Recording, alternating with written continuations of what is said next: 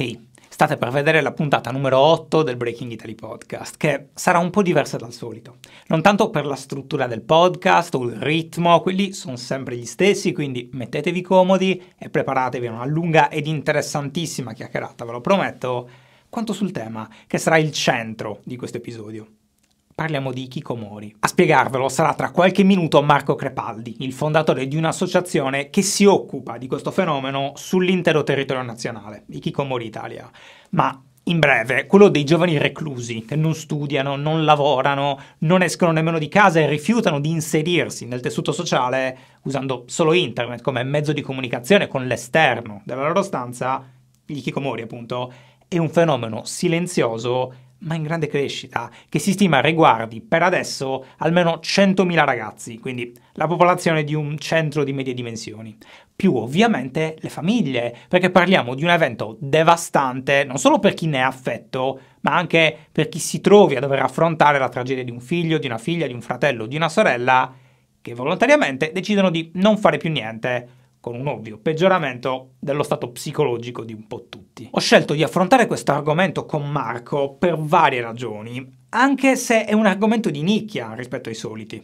Un po' per trasmettere il messaggio che sia importante parlare anche di problematiche di persone invisibili, perché il loro disagio non è inferiore ad altri tipi di disagio più palesi, dei quali spesso ci troviamo a parlare qui a questo tavolo, ma un po' anche perché questo argomento io mi ci rivedo. È quella tendenza all'isolamento, al rifiuto delle cose, all'arrivare alla conclusione che in questo mondo per me non ci fosse speranza, che io conosco perché ci sono passato e non è un periodo che rimpiango particolarmente. Ma è passato, perché può passare, ma non voglio anticiparvi troppo e dopo avervi detto dello sponsor di questa puntata vi lascio la chiacchierata con Marco. A sponsorizzare questo episodio è Gimme5, un'app della quale abbiamo già parlato su Breaking Italy e che mi sembra sia incredibile sia arrivata solo di recente. Perché il fatto che sia un'app sul telefono e non un ufficio aiuta ad approcciarsi a realtà che possono sembrare un po' spaventose per chi non le conosca, come le società di gestione del risparmio, che però offrono, per chi voglia pensare al proprio futuro,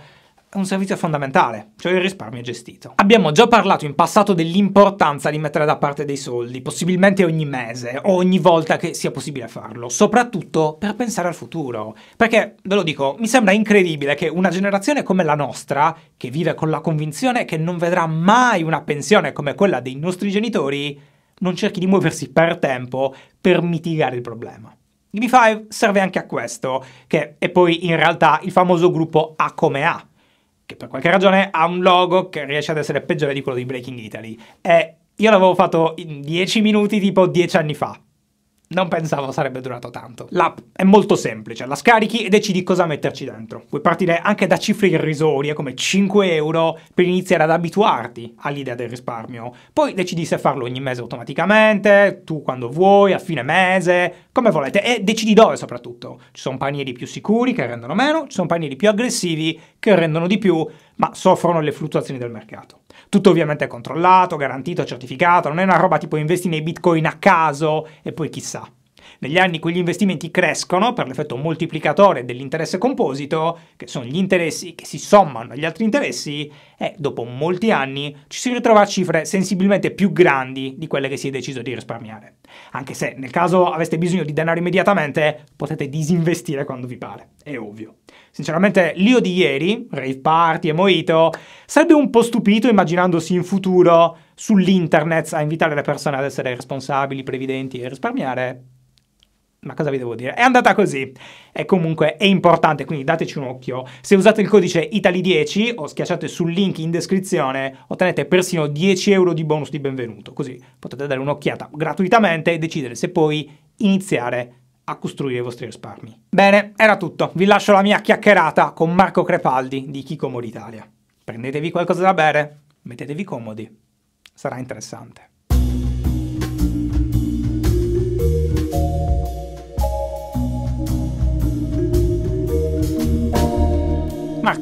Grazie per essere qui. Grazie a te. Come ti dicevo, ti farò un po' di domande banali all'inizio perché sono sicuro che molti non sappiano cosa sia un ikikomori, cosa, non conoscono nulla di questo fenomeno.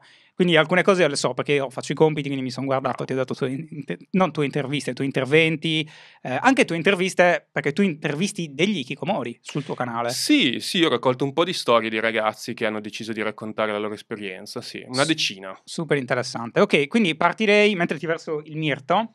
Vai, Così, sono eh, pronto. rispettiamo, rispettiamo le, le, le tradizioni. Eh, eh, ti chiederei di spiegare che cosa è un ikikomori. L'avrei fatto mille volte, quindi farlo per la 1001. Allora, in realtà ci sono mille definizioni. Partiamo da quella scolastica. Ikikomori è una parola giapponese che in italiano si traduce con stare in disparte e viene usata per identificare chi si ritira in casa, cioè quelle persone che tagliano i ponti con la società e stanno nella propria abitazione.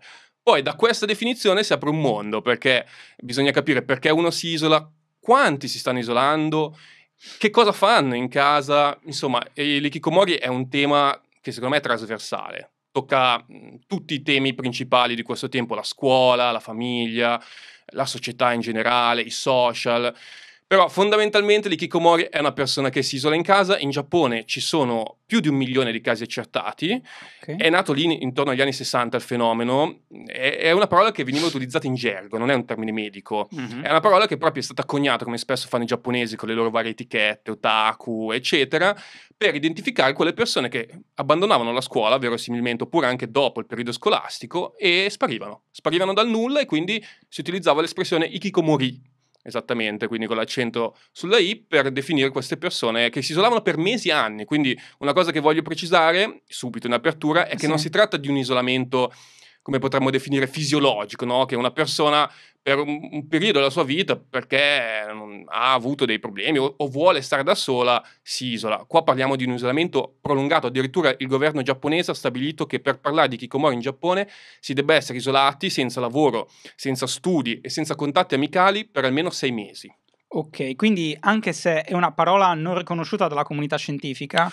C'è, ma è considerata una sindrome culturale nel DSM, nel manuale diagnostico, è considerata una sindrome specificatamente giapponese, anche se ci sono diversi studi scientifici che utilizzano questa parola nei paper che testimoniano come ormai sia chiaro che queste dinamiche di isolamento che inizialmente si erano viste in Giappone, e poi magari parleremo del perché è iniziato in Giappone, sì, sì sono diffusi in tutto il mondo, quindi ormai il fenomeno è riconosciuto. Non è utilizzato il termine ikikomori nel DSM come sindrome mondiale, ma appunto è una sindrome culturale. Però si usa quel termine comunque? Si usa negli articoli scientifici questo termine, assolutamente, sì. Ok, quindi anche se è riconosciuta come sindrome culturale c'è una sorta di diagnosi, cioè perché questa qui che tu mi hai fatto è una sorta di diagnosi, cioè l'ha deciso il governo, in realtà non l'ha deciso non è una diagnosi perché non è ancora chiaro se possa essere considerata una patologia o meno, mm, poi ti dirò anche la mia, mm, però non è proprio una diagnosi. Il governo cosa doveva fare? Doveva mappare i casi, cioè doveva dire quanti sono questi isolati sociali nel mio paese e allora ha dovuto darsi dei criteri oggettivi, cioè dire come faccio io a decidere se uno è Kikomori o non Kikomori e allora si è dato dei criteri. Il primo è quello dei sei mesi, l'altro è quello che la persona non deve avere lavoro o studio in corso, mm-hmm. l'altro ancora è che non deve avere contatti amicali, sono diciamo consentiti solo i contatti con la, la famiglia, anche se a volte non ci sono neanche quelli e non devono esserci consentiti al... nel senso che non vengono calcolati no, esatto mm. consentiti nel senso che uno è kikomori per i giapponesi anche se ha contatti con i genitori certo.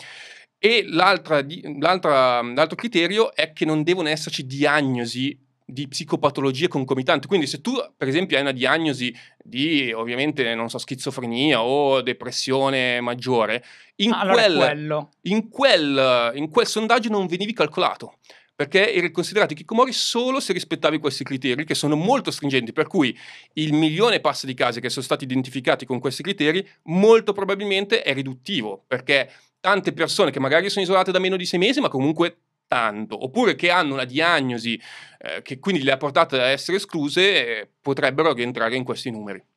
Ok, Ehm, tu eh, hai fatto. Eh, qual è il tuo percorso di studi? Scusa se te lo chiedo. No, no, fai fa... bene. Ah. Fai bene. Io, mi... Io, ho studiato psicologia, psicologia okay. sociale alla Bicocca di Milano. Ho fatto i cinque anni, eh, magistrale. E proprio in quegli anni io ho conosciuto per caso il fenomeno guardando un cartone animato che si chiama Welcome to the NHK. Se qualcuno mm-hmm. lo vuole vedere, un anime giapponese per la precisione. Sì, mi è stato anche consigliato qui in studio per capire questa cosa, ma io non ho fatto in tempo a guardarlo. Devo dire. C'è su YouTube, è veramente okay. bello. È un anime che in realtà viene da un romanzo, quindi è un po' più maturo rispetto magari agli anime che, non so, vengono dai manga, però è un anime veramente che consiglio, c'è su YouTube Sabbato in italiano, anzi anche in italiano, se qualcuno non ha problemi, e um, questo anime me l'ha fatto conoscere, questo termine, nel 2012. Io rimasi colpito a tal punto da questo fenomeno che decisi di scrivere la mia tesi di laurea. Dopo aver scritto la tesi di laurea, era ancora la triennale tra l'altro, dissi, ma cavoli, ma questo fenomeno è super interessante, non ne parla nessuno, in italiano non ci sono fonti perché a parte Wikipedia allora c'era praticamente nulla, ho aperto un blog, mm-hmm. che è kikomoritalia.it, un blog ancora oggi veramente brutto, sembra degli anni Ottanta, mm, okay. eh, però questo blog è diventato il centro di una community di tante persone che si sono interessate per vari motivi a questo problema e da lì poi è nato tutto il resto, è nata un'associazione nazionale, è nato un, un, interesse molto alto su questo tema. Ecco, ti facevo questa domanda perché vorrei capire, eh, prima di a- approfondire, perché io proprio voglio farti delle domande specifiche per capire eh, eh come individuarlo un Ikikomori, okay. no? Ma prima ancora, tu quindi ti interfacci in un certo modo con dei tuoi colleghi in Giappone, ad esempio? Sì. Okay. Il fatto di usare il termine Kikomori è molto utile per eh, la ricerca cross-culturale, nel senso che io sono stato contattato non solo da giapponesi, ma anche da altre nazioni europee, da persone che iniziano a utilizzare questo termine per cercare di allinearsi no? okay. sul fatto che è un fenomeno mondiale legato poi appunto lo vedremo, ha delle dinamiche della società moderna e quindi questa cosa mi permette di, di, rapportarmi con diversi studiosi che stanno facendo anche dei progetti dedicati all'ikikomori, per esempio in Giappone. Ho conosciuto una ricercatrice giapponese che è venuta a Milano, che era in tour in Europa, è venuta a Milano per conoscermi. Mi scrivono diversi ikikomori giapponesi anche e poi soprattutto ovviamente ikikomori italiani. Io parlo ikikomori Italia, parlo in italiano, quindi il mio progetto è sull'Italia, però è talmente un tema interessante che poi mi contattano davvero da tutta Europa, anche dal Brasile a volte mi scrivono. Ok, perché anche altri paesi hanno la problematica del fatto che non se ne parli abbastanza. No, non... no è molto diffuso, questo problema è molto poco riconosciuto. Ok, quindi prima di farti la prossima domanda ti invito okay. a assaggiare. È la prima volta che bevi il mirto? Sì, ma come detto io farò un po' No, non è la prima volta, ma farò un po' finta perché bevo poco e quindi se bevo adesso alle 10 di mattina poi non sono più in grado di rispondere alle tue domande okay. sicuro. Però buono. Ok. Vabbè, lo, è buono davvero? Buono stai... giuro, okay. l'ho bevuto, giuro, un pochettino, puoi calcolare. Dopo faremo uno zoom per controllare esatto. se effettivamente l'hai bevuto. Ok, quindi eh, l'ikikomori, hai detto, è qualcuno che si isola, fondamentalmente sì. il discorso è quello. Se ci fosse in questo momento una famiglia, un genitore, come farebbe a identificare eh, lo status, tra, tra, virgolette, di Kikomori del figlio? Cioè potrebbe vedere il figlio che magari ha lasciato la scuola o magari va a scuola però poi non vuole uscire dalla sua stanza o eh, gli sembra depresso, triste. Come capisco se mio figlio è un Kikomori? Allora, questa è una domanda molto importante. Allora, parto col dire che io ricevo soprattutto contatti dai genitori, che sono quelli che portano il problema lo portano molto meno le persone isolate, certo. molto di più i loro genitori. Spesso un Ikikomori non riconosce di avere un problema o comunque pensa che non ci sia soluzione. Però è una cosa importante da dire che per me l'ikikomori non debba diventare una diagnosi, quindi io non utilizzo la parola ikikomori come etichetta, per me l'ikikomori è un fenomeno sociale che è, potremmo definire un disagio ad- adattivo di tipo sociale, cioè una difficoltà della persona per caratteristiche sue temperamentali di adattarsi a questo contesto sociale, quello moderno. La prima manifestazione, diciamo la, quella più palese di, di, difficoltà adattiva è l'isolamento, però in realtà ci sono tutta una serie di, di segnali che un ragazzo può dare anche prima del, di questa repentina fuga dalla società, come potremmo chiamarla. Un genitore di solito riconosce questi sintomi di Kikomori eh, quando il figlio incomincia a saltare giorni di scuola. Il mm. figlio incomincia a dire io non voglio andare a scuola, non ce la faccio andare a scuola, magari si inventa delle scuse dicendo sto male. E quella mh, repulsione che lui sviluppa nei confronti della scuola è qualcosa legata non allo studio, ma è legata al contesto sociale, cioè la difficoltà di integrarsi, eh, di avere relazioni con i compagni, magari subiscono bullismo, insomma la scuola diventa un ambiente sociale respingente, per cui questi ragazzi a parte che somatizzano molto spesso l'ansia di dover andare a scuola, ma poi non trovano più nessun tipo di, di piacere nemmeno appunto nell'atto di andare a scuola, al di là poi dello studio. Sono ragazzi spesso anche molto intelligenti, quindi non hanno di solito problemi di voti nel momento in cui abbandonano la scuola. Lo fanno per una difficoltà sociale, una difficoltà legata alle relazioni. Quindi, diciamo, per rispondere alla tua domanda, so che il tuo dubbio principale è: ma cosa distingue l'ikikomori da qualcos'altro? Mm. L'ikikomori, per, secondo me, non c'è ancora una definizione chiara, ti dico la mia è distinguibile dalle altre forme per due fattori, gli unici due fattori che secondo me sono trasversali a tutti i casi di Kikomori, poi sono molto eterogenei. Il primo è che c'è una forte ansia del giudizio sociale, cioè queste persone si isolano soprattutto per sfuggire al giudizio sociale, al fatto di essere... Dei compagni. Dei compagni in particolare, però può darsi che uno diventi Kikomori, cioè si isoli, anche successivamente alle scuole. Per esempio in Giappone l'età più critica è quella post diploma quella legata all'ingresso del mondo universitario. Ah, quindi tipo 18 anni? Sì, molti kikomori in Giappone diventano tali quando falliscono il test di ammissione all'università.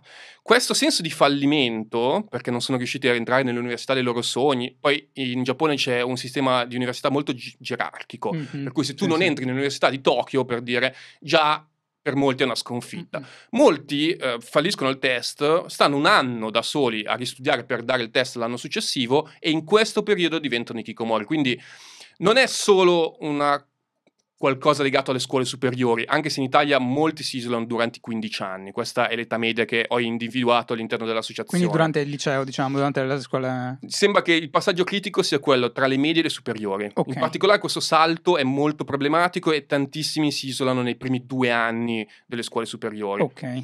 Quindi è sicuramente per un ragazzo un po' più fragile, un po' più in difficoltà nel relazionarsi, questo salto a volte può essere anche problematico, no? perché cambia ambiente in modo repentino, mm. vai in un ambiente molto più adulto, eh, dove ci sono delle pressioni anche diverse, però tornando appunto senza divagare troppo, l'ansia del giudizio sociale, mm. il fatto di essere giudicati come più brutti, meno simpatici, meno mm, interessanti, meno bravi in generale, un po' la competizione sociale prende un po' tutte le variabili. Ma non è la realtà di tutti quella. Perché io sto pensando ovviamente a quella che è la, la, la, storia di un po' tutti quanti quando fanno le medie e le superiori. Le medie soprattutto sono un momento molto difficile secondo me, ma a prescindere l'ansia del giudizio, il voler essere parte del gruppo, il sentirsi un po' brutto, un po' troppo poco atletico, un po' troppo basso, non è parte della vita di tutti a scuola. Cioè chi è che va a scuola ed è contento di andare a scuola alla fine? Uh, sì, è vero, questa è un'obiezione giusta, ma ci sono delle dinamiche che stanno andando in peggioramento a livello di pressioni nella società moderna, soprattutto con i social. Questo è un aspetto che va trattato. Il confronto sociale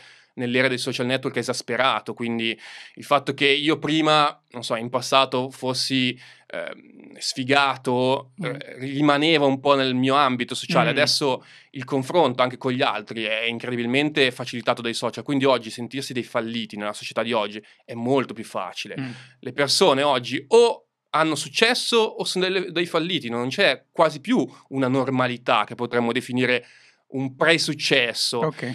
Questo fa sì che le dinamiche di pressioni sociali legate al senso di fallimento siano in aumento. E poi l'altro discorso è, certo, non tutti diventano i Kikomori, non tutti hanno questa sorta di repulsione nei confronti della società, questo ripudio della società, mm. solo i più fragili, solo chi ha meno strumenti per poter reggere questa pressione. Purtroppo i numeri sono in aumento e io temo aumenteranno nei prossimi anni, proprio perché queste dinamiche sociali non sono in fase di, eh, come dire, regressione, ma sono comunque in crescita. Okay.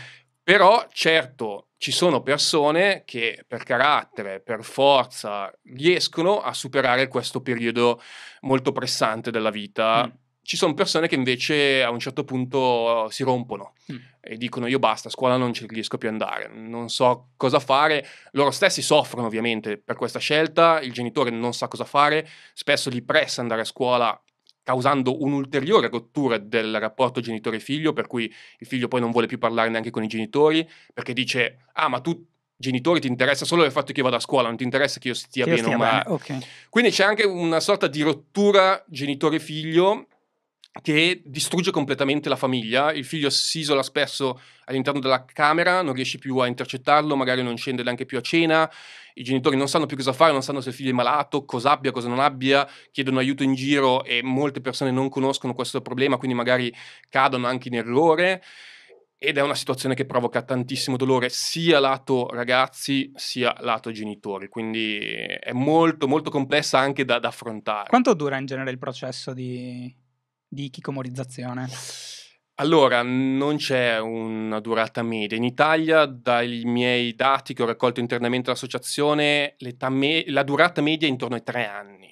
Uh, ok, molto Sì, lungo. molto alta, ma pensa che in Giappone sono più over 40 di under 40, perché tante persone sono rimaste in isolamento per 20-30 anni e oggi magari hanno più di 40 anni, tanto che lì si sta incominciando a interrogarsi su come le manteniamo tutte queste persone inattive che non sono in grado di badare nemmeno a se stesse una volta che muoiono i loro genitori.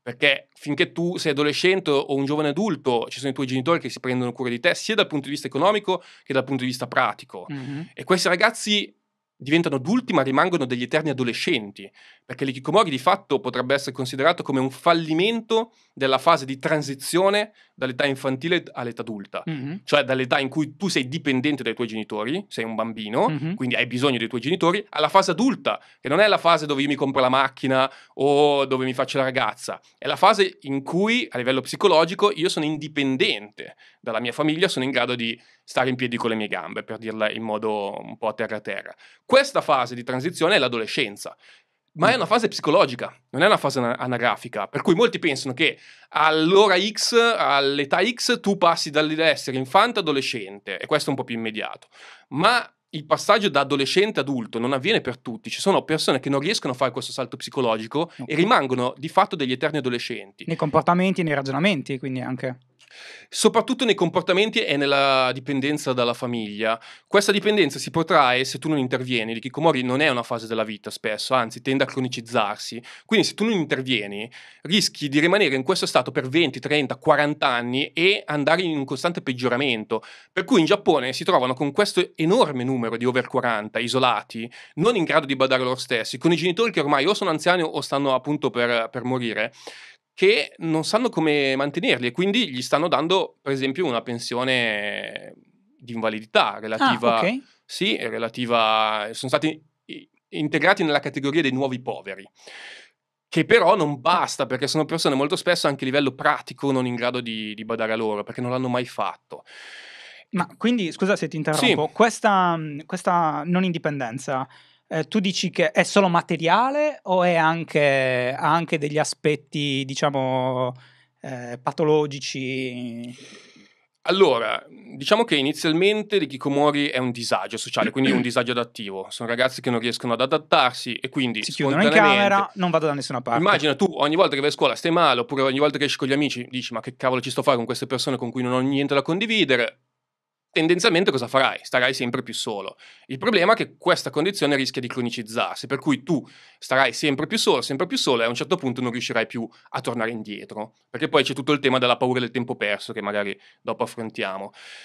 Qual è il problema? Che poi questa che inizia come una, diciamo, una preferenza, potremmo mm-hmm. definirla così, espone a patologie.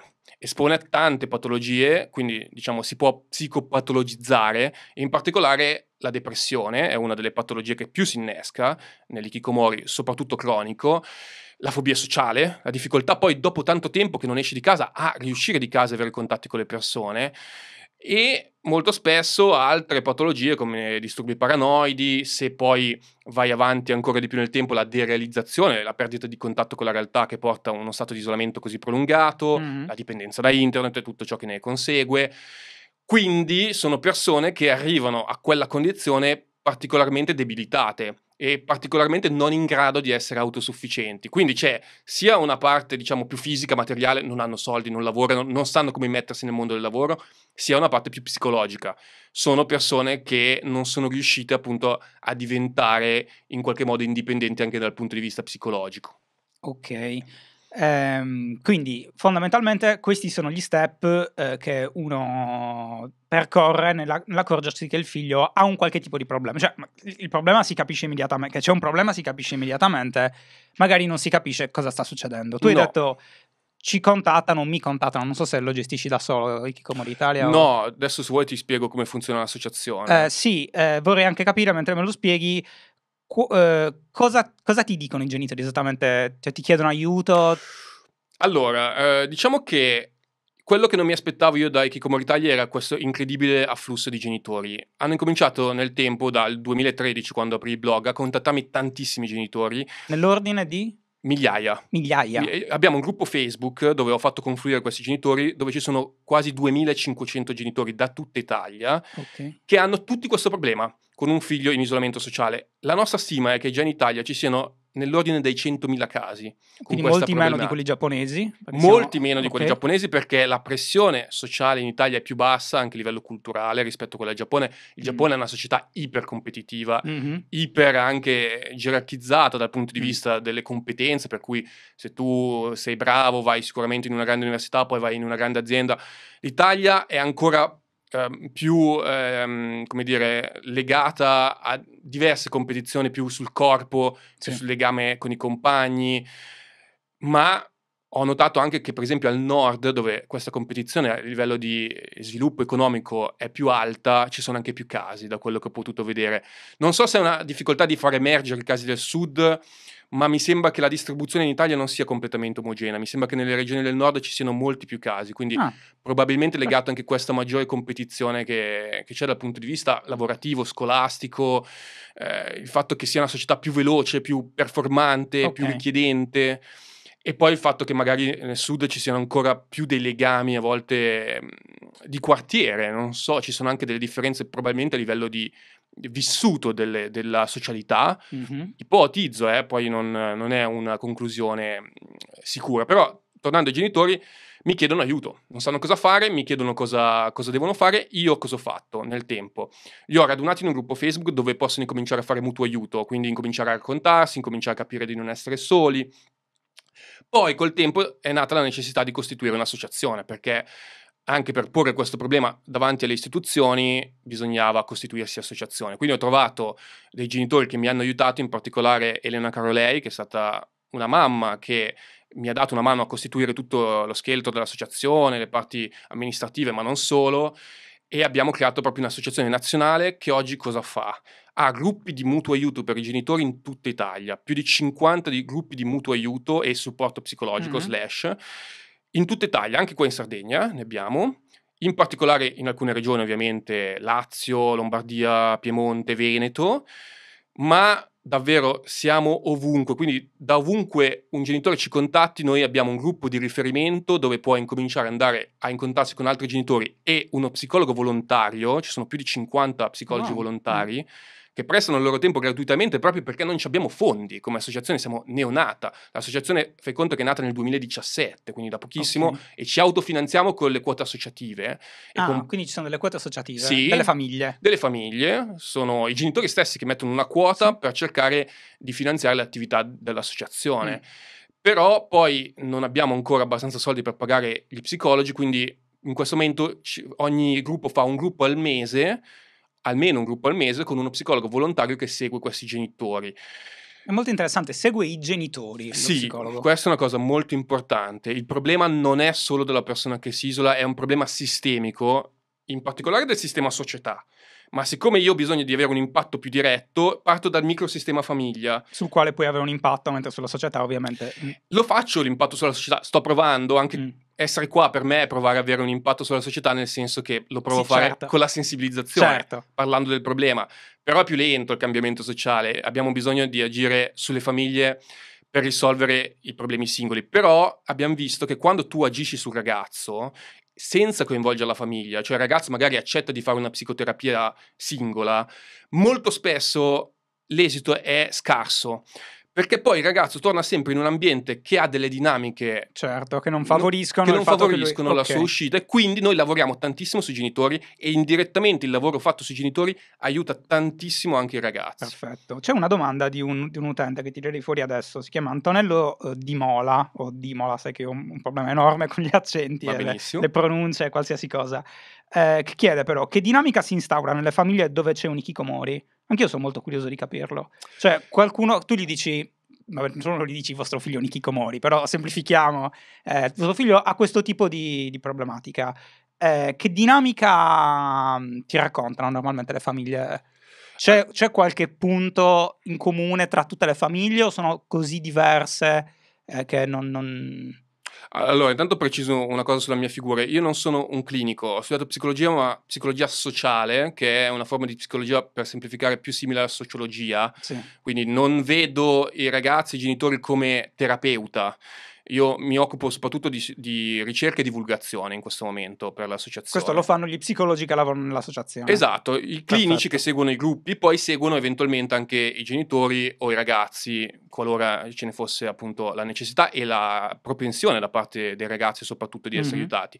Quindi cosa succede? Che di solito il genitore arriva a me tramite il blog perché fa le sue ricerche. Quando tu non, non riesci a risolvere un problema, cosa fai? Cerchi su internet. Cerchi su certo. Google, no? Quindi si fanno l'autodiagnosi, cosa che secondo me, ripeto, di Kikomori non è una diagnosi, però è una parola utile per parlarne, per Mhm. riuscire a dare un po' un nome, un, un connotato a questo problema. E mi scrivono e mi dicono: Mio figlio è un Kikomori, Mm. cosa posso fare? E io in quel momento gli dico: Guarda, abbiamo questo gruppo Facebook dove puoi incominciare a confrontarti con gli altri genitori e dei gruppi locali. Gli do il riferimento di un genitore della sua regione con cui puoi incominciare a interfacciarsi e poi eventualmente anche con lo psicologo. Quindi è un processo di consapevolezza quello che devono fare i genitori sulla problematica, non è eh, il Marco dammi il numero di uno psicologo che ho bisogno che mi tiri fuori mio figlio, perché questo non funziona. Quindi se uno mi dice ho bisogno di uno psicologo, perché il 90% dei contatti è così, Mhm. io gli dico no, aspetta, incomincia a capire tu qual è il tuo impatto su Ok. questo problema Sì. Come tu inconsciamente, perché poi un genitore ovviamente agisce sempre a fin di bene, si spera, Mhm. inconsciamente però alimenti questa mh, condizione di tuo figlio e poi eventualmente questo aiuterà a ricostituire l'alleanza genitore-figlio, quindi a abbassare le armi in famiglia, Mhm. Perché poi ci sono delle situazioni drammatiche. E queste vorrei Eh, capire. la condizione di Kikomori distrugge le famiglie, tantissime arrivano al divorzio a Wow. causa, sì, perché non sanno più cosa fare e si colpevolizzano a vicenda. È colpa tua che gli hai dato troppo. Che lo vizi, Che lo certo. vizi, no, è colpa tua che non, lo- lo- non so, gli dai troppe regole. Insomma, i genitori si scannano tra di loro.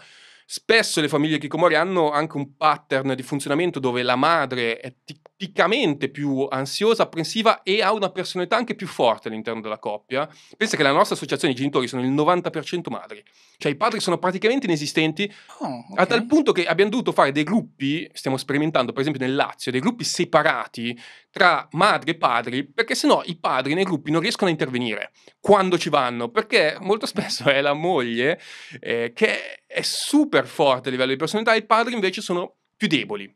E questo gli Eh. impedisce anche di, di tirare fuori le proprie sofferenze che sono diverse sul problema. Fammi capire, eh, mh, questo succede quando ci sono entrambi i genitori? Nel senso, eh, Sì.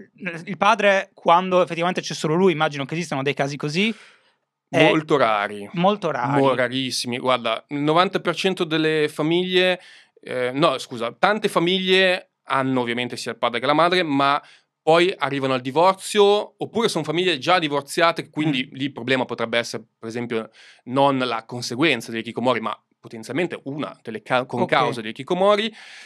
Sono spesso, ci sono tante famiglie, il 20% almeno, che è un numero alto, di famiglie composte da due persone, madre, quindi donna, e figlio maschio. Perché un'altra cosa che non Mm. abbiamo detto è che i Kikomori sono tantissimi e soprattutto maschi. Ok, a questo ci torniamo tra un attimo, però no, ancora non ho capito una cosa. In questi gruppi che tu dici, dove i padri dici, non, ri- non riescono a a interagire in nessun Emerge, modo, ok, no. questo accade nel senso che nella coppia emerge solo la donna e quindi partecipa lei o emerge nella dinamica generale? Tipo se io sono un padre e scrivo vengo comunque... No. No, no, no, assolutamente, sei, sei assolutamente ben accolto, però è proprio un approccio diverso al problema. I- Ok. I padri non chiedono aiuto o di solito ehm, tirano i remi in barca, perché cosa succede? Cioè mandano avanti la donna. O comunque vengono messi indietro. Un po' si arrendono anche, perché sai cosa succede? Okay. Che tu quando hai un figlio così, tu immagini di avere un figlio di 15 anni, no? sì. che un giorno ti dici non vado più a scuola. Perfetto. È vero che ci sono stati segnali anche prima, tu non sei stato in grado di coglierlo, lì impazzisci, mm-hmm. perché dici cavolo, mio figlio non va più a scuola, com'è possibile? A 15 anni non è che può stare a casa. Certo. A volte ti mando anche gli assistenti sociali, perché eh, dici ma come mai non va più a scuola? Mm-hmm cosa fai? Impazzisci, cioè non sai più cosa, non fare, cosa fare, chiami medici, psichiatri, chiunque e le provi tutte. Cosa fai? Provi le buone e le cattive. Certo. Di solito gli uomini tendono un po' più a essere magari più fisici, quindi a cercare un impatto più anche tipo dai esci, cosa fai? Ti stacco il computer, cosa che viene fatto spesso a torto perché non okay, va ah, fatto. Wow, tra poco ne parliamo. Sì? Per, ne, su come uscire dal problema ne parliamo eh, dopo, anche perché voglio, voglio capirlo molto bene. Eh. Quello è un mondo. Ma appunto poi cosa succede? Che a un certo punto, quello che ho visto io, il padre non sa più cosa fare tira un po' più i remi in barca, è un po' più disilluso, impotente. La madre, molto più ansiosa come profilo, questo ovviamente a livello medio e poi non si può generalizzare certo, tutte, certamente. però quello che ho notato io è che la madre continua, non, non, non si arrende. No, non si arrende okay. E quindi cosa succede? Che la madre molto spesso va su internet e cerca una soluzione al problema e trova l'associazione dopo magari aver fatto anche uno, due anni di tentativi falliti. E questo porta i genitori, secondo me, ad avere un approccio diverso. Poi le madri incominciano ad entrare nel gruppo, sono anche più eh, invogliate a conoscere altre madri, a fare i gruppi. I padri non sempre, ma spesso sono un po' più defilati. In generale, quello che ho notato io è che nelle famiglie Kikomori c'è uno squilibrio della genitorialità, soprattutto a livello di personalità. C'è sempre una figura particolarmente più forte all'interno della famiglia di personalità. Che è la madre. Che è la madre che è più apprensiva, è più attenta e magari appunto questa sua apprensione lato genitore è sempre intesa come una cosa positiva, perché oggi su chi c'è lo stigma genitoriale? Cioè qual è il genitore che oggi viene identificato come cattivo genitore? Quello che tratta male il figlio, no? Ah, che, okay. che mm. non lo cura mm. o che gli mette le mani addosso.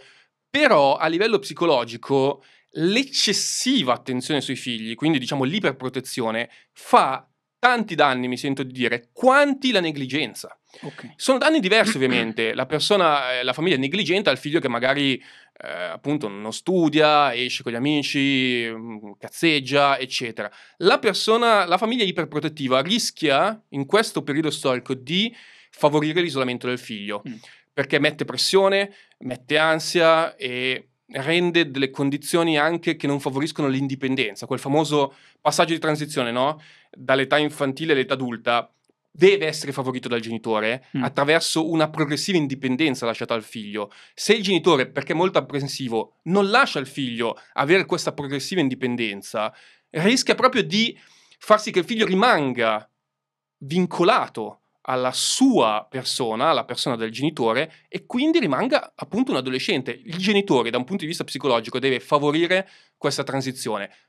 Molti non lo fanno, molti pensano che il ruolo del genitore sia quello, non lo so, di aiutare il figlio a diplomarsi o di trovare un lavoro. No, il compito del genitore non è neanche, ti dico, rendere il figlio felice. Mm. Il compito di un genitore, da un punto di vista evoluzionistico, psicologico, è favorire la transizione all'età adulta, all'età adulta, in modo che lui sia indipendente e poi possa scegliere la sua vita. Questa cosa in molti genitori, soprattutto nelle famiglie Kikomori, non viene favorita. Non viene favorita, ok. Eh, eh, questa cosa immagino che ci sia anche in Giappone, cioè, la, anzi sì. lì ancora di più, no? Perché la figura del padre è molto assente, molto... Bravo. Eh, quindi il problema è un po' lì, diciamo. Cioè tu uh, ritieni che il problema sia un po' lì. Eh, già la... agendo su questa dinamica, intendo, eh, madre-padre? Non so, lavorate sì, su quello? Okay. Sì, eh, diciamo in generale sulle dinamiche familiari. La problematica è lì, ma non solo lì. Questa è una delle concause dell'ikikomori.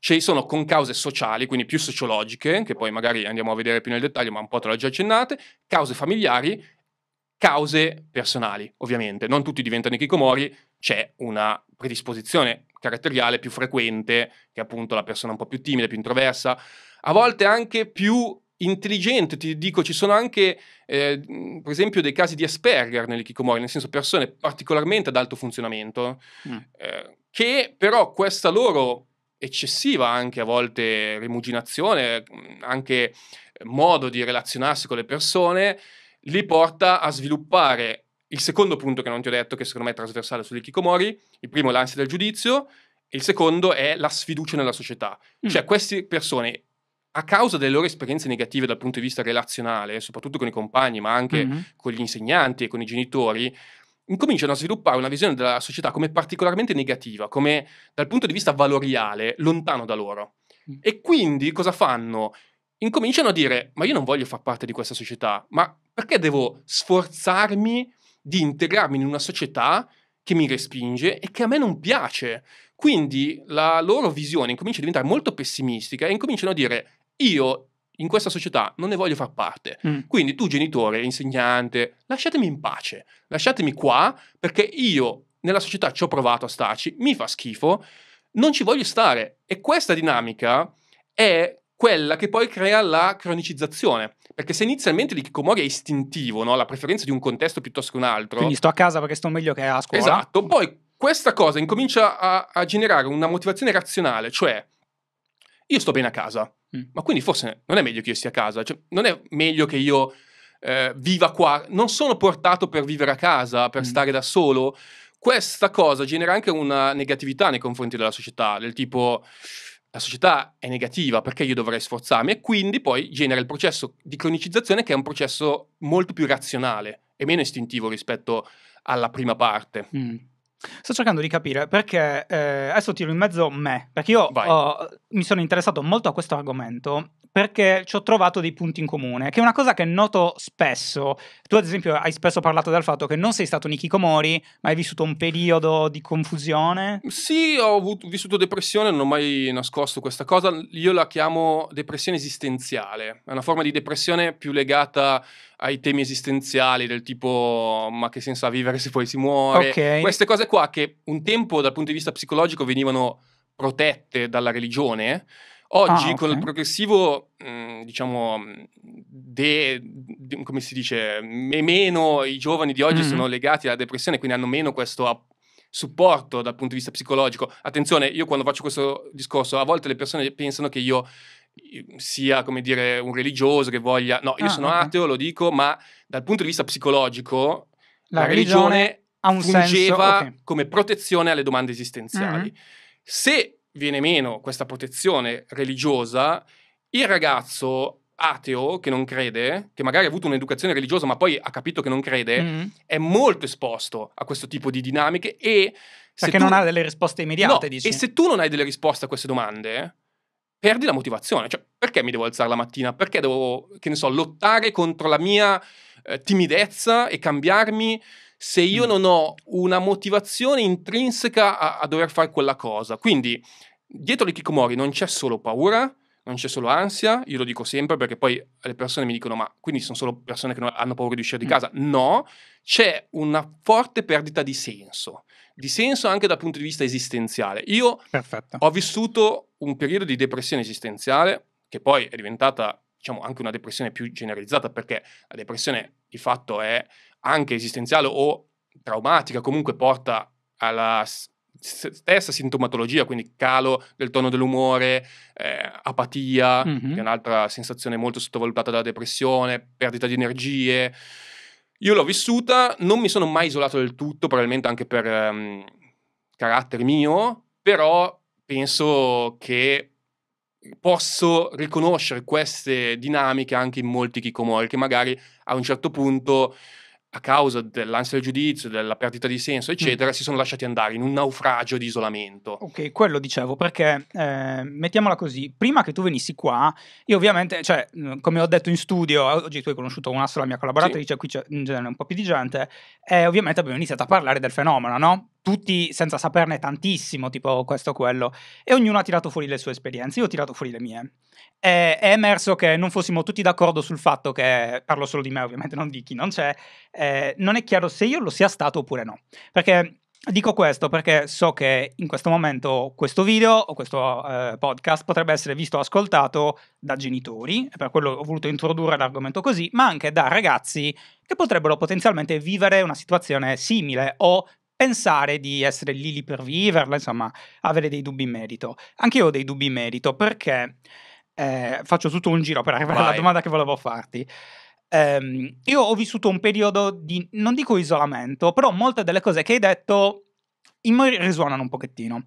Ad esempio, eh, l'aver, l'essersi chiesto, l'aver vissuto eh, un, un, periodo nel quale dici ok, io sto meglio a casa, che per me è stata l'università principalmente, anche il liceo, ma soprattutto sì, l'università. Molti si isolano nel, nel, periodo universitario. Quello è stato un momento nel quale io ho detto ok, io sto molto male, stato, io ho avuto gravi eh, una grave depressione, quindi non, cioè proprio una cosa mh, mm, clinica e anche da ricovero, proprio una roba pesante. Eh, però elementi di questo tipo in me c'erano, cioè io mi facevo i discorsi tipo io sto meglio a casa che, che, che, perché dovrei farlo, eh, ma in effetti cioè, sfugo da una situazione mm, peggiore rispetto a quella. Però la situazione di stare a casa, ora io non stavo completamente a casa, avevo contatti con la mia famiglia, anche lì ci sono state ovviamente delle dinamiche particolari, anche lì mi hai un po' ricordato la mia esperienza. Eh, io però non ero completamente isolato, quello che facevo era giocare a World of Warcraft fondamentalmente. Anch'io. Okay. Ci ho giocato per anni. Alleanza Orda? Orda. Io Alleanza. Uh, ok. Sba- eh, sbagliato quindi. Era un pala.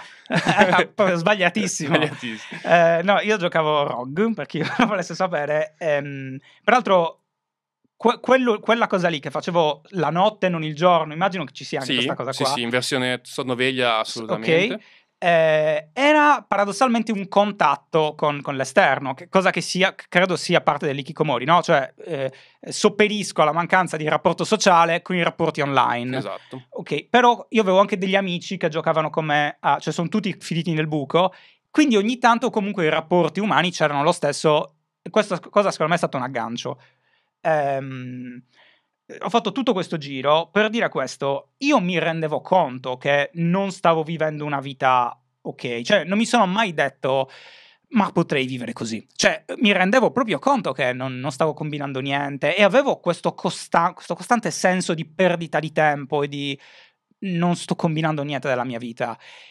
Non sono mai riuscito a uscirne da solo. A un certo punto, eh, poi ne parleremo, ci sono stati i miei genitori, secondo me, a darmi un po' loro, un po' io. Ehm, però c'è questa situazione che tu dici di mi cronicizzo nel senso di dire ma potrei anche fare l'eremita. Io non, non Beh, riesco a, a, capirla. La preciso, hai ragione. Mm, non è un ma faccio l'eremita a cuor leggero, è una visione un po' più sofferta. È del tipo: io ho provato a vivere fuori, ci ho provato a uscire da questa mia condizione più e più volte, mi sono sforzato non ci riesco, mm. continuo a fallire, sto male quando esco, magari mi sforzo anche di fare quell'uscita con gli amici, non, non, non mi dà nessun tipo di, di, sensazione positiva, quindi a un certo punto quello che succede è che la persona un po' si convince di essere sbagliata, quindi di essere diversa, quindi che il suo posto forse è lì, a contatto con il mondo digitale, che appunto è, è un tema interessante, e un po' ovviamente riconosce il fatto di stare a perdere tempo, anzi l'ansia del tempo perso per me è una delle cose principali delle Kikomori, oh, perché okay. se inizialmente il Kikomori appunto avviene con tutto il meccanismo che ti ho detto, poi il meccanismo psicologico che non ti fa uscire non è solo quello del convincimento che appunto non c'è qualcosa che ti piace fuori, ma è soprattutto il fatto di ma io adesso come giustifico agli altri di aver perso tre anni della mia vita? Mm, okay. Per essere bassi è tre anni perché ti dico non è un tempo così grande. Come giustifico a 25 anni, per esempio, di non aver mai baciato una ragazza? O di non aver... perché le pressioni sessuali sono fondamentali. Eh. Perché sono sociali anche quelle. Cioè, sono so... sociali, ma spiegano anche, secondo me, in parte perché sono soprattutto maschi. È un tema gigantesco, non so se riusciremo a approfondirlo bene, ma è un tema molto interessante. Però ecco, la paura del tempo perso. Pensa per esempio a un colloquio di lavoro. A me alcuni hanno scritto, ma io cosa devo dire a un colloquio di lavoro che mi chiede cosa ho fatto dal 2000 al 2000? Devo dire che sono stato un Ikikomori. Questa è una società che non ammette buchi. Cioè, non ammette Qual buchi. è la risposta a quella domanda? Eh, non lo so, non okay. lo so, perché non ammette buchi questa società. Mm. Tu non puoi perdere tempo in questa società. Tu devi essere costantemente al ritmo della realizzazione personale. Okay. Se tu ti fermi, gli altri vanno avanti, non è che ti aspettano, è una corsa. Quindi, se tu perdi tempo, poi a un certo punto ti giri indietro e dici: Oh mio Dio, è già passato un mese, un anno, due anni, e mo come faccio a uscire e a rimettermi al pari degli altri? Già eri in difficoltà prima perché magari eri più fragile, avevi meno competenze sociali, eccetera. Poi dopo che passa il tempo è ancora peggio. Mm. Non è che esci e dici, vabbè, riparto da zero. No, qua non puoi mai ripartire da zero. Questo è il problema. Molto spesso la società non ti consente di ripartire da zero. È una società veloce, ipercompetitiva, è questo che intendo con competizione. Mm. La competizione è se gli altri fanno tutti questi sforzi per realizzarsi e tu a un certo punto non li fai per diversi motivi, poi devi rincorrerli, Mm. perché sennò ti sentirai costantemente in difetto rispetto a loro. E a un certo punto l'Ikikomori cosa fa? Dice, io ho perso troppo tempo, non riesco più a rimettermi Ah, in ok. pari. Mo, mi siedo. Mi siedo, Mm. abbandono, cioè tiro i remi e dico questa è la mia condizione da qui all'eternità. Ovviamente è una decisione sofferta, non è una decisione presa a cuor leggero, però è una sensazione di dire io non riesco più a rimettermi in pari con gli altri, quindi non so cosa fare. È una sensazione ovviamente anche di confusione. Mhm. Ehm, ok, eh, torni- tor- torno al mio, al mio esempio Sì. per farti la, la domanda successiva. Eh, io a un certo punto io sono uscito da quello stato che non so neanche dirti se io fossi un Ikikomori o no. Non... Posso dire una cosa su Certo. questo?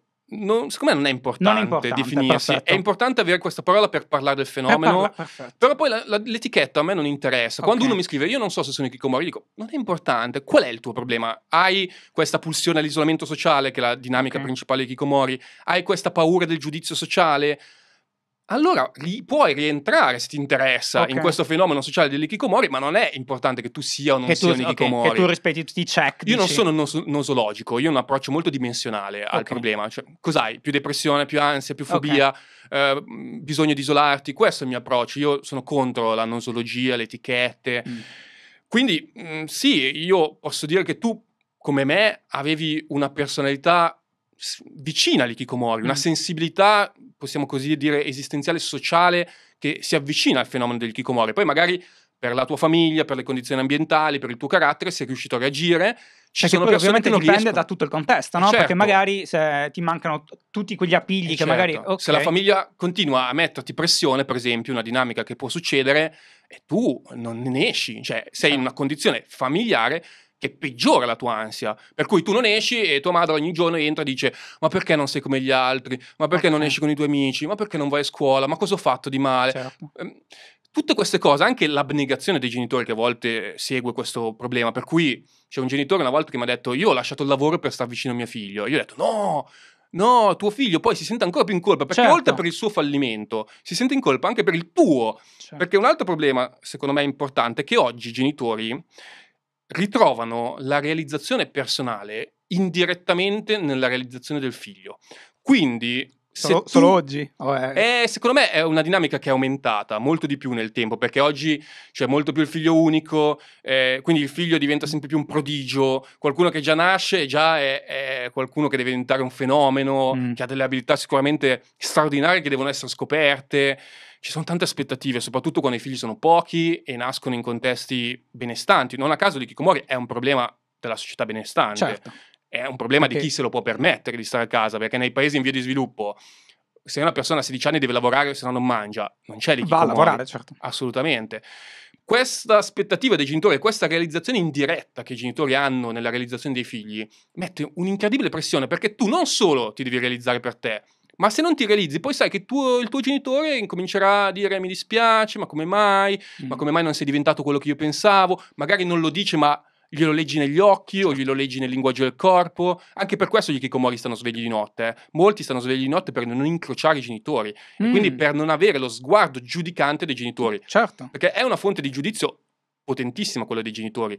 Per quello che tu dicevi prima, il giudizio dei compagni, no, c'è il giudizio dei compagni, giudizio dei genitori e poi il tuo giudizio, che Certo. ovviamente è quello più pesante, che è una somma un po' di quello che tu pensi, gli altri pensano di te. Certo, ma anche credo sia, magari mi direi che è così oppure no, eh, parlo sempre della mia esperienza, muoverti di notte ti permette di evitare tutte le dinamiche del giorno che ti fanno vedere il tempo che passa, no? Perché Perfetto. vedi i genitori che vanno a lavoro, la gente che fa le cose, Esattamente. e invece la notte tutto è fermo. Tutto è fermo. Tu che hai fatto l'università come me, avevi invertito il ritmo sonno-veglia, Sì. perché l'università ti porta a Sì, questa sì, dinamica distruttiva. Io ho parlato anche di università e di come l'università possa essere un periodo veramente infido, dove le persone che non sono in grado di organizzare rischiano di perdere qualsiasi riferimento temporale.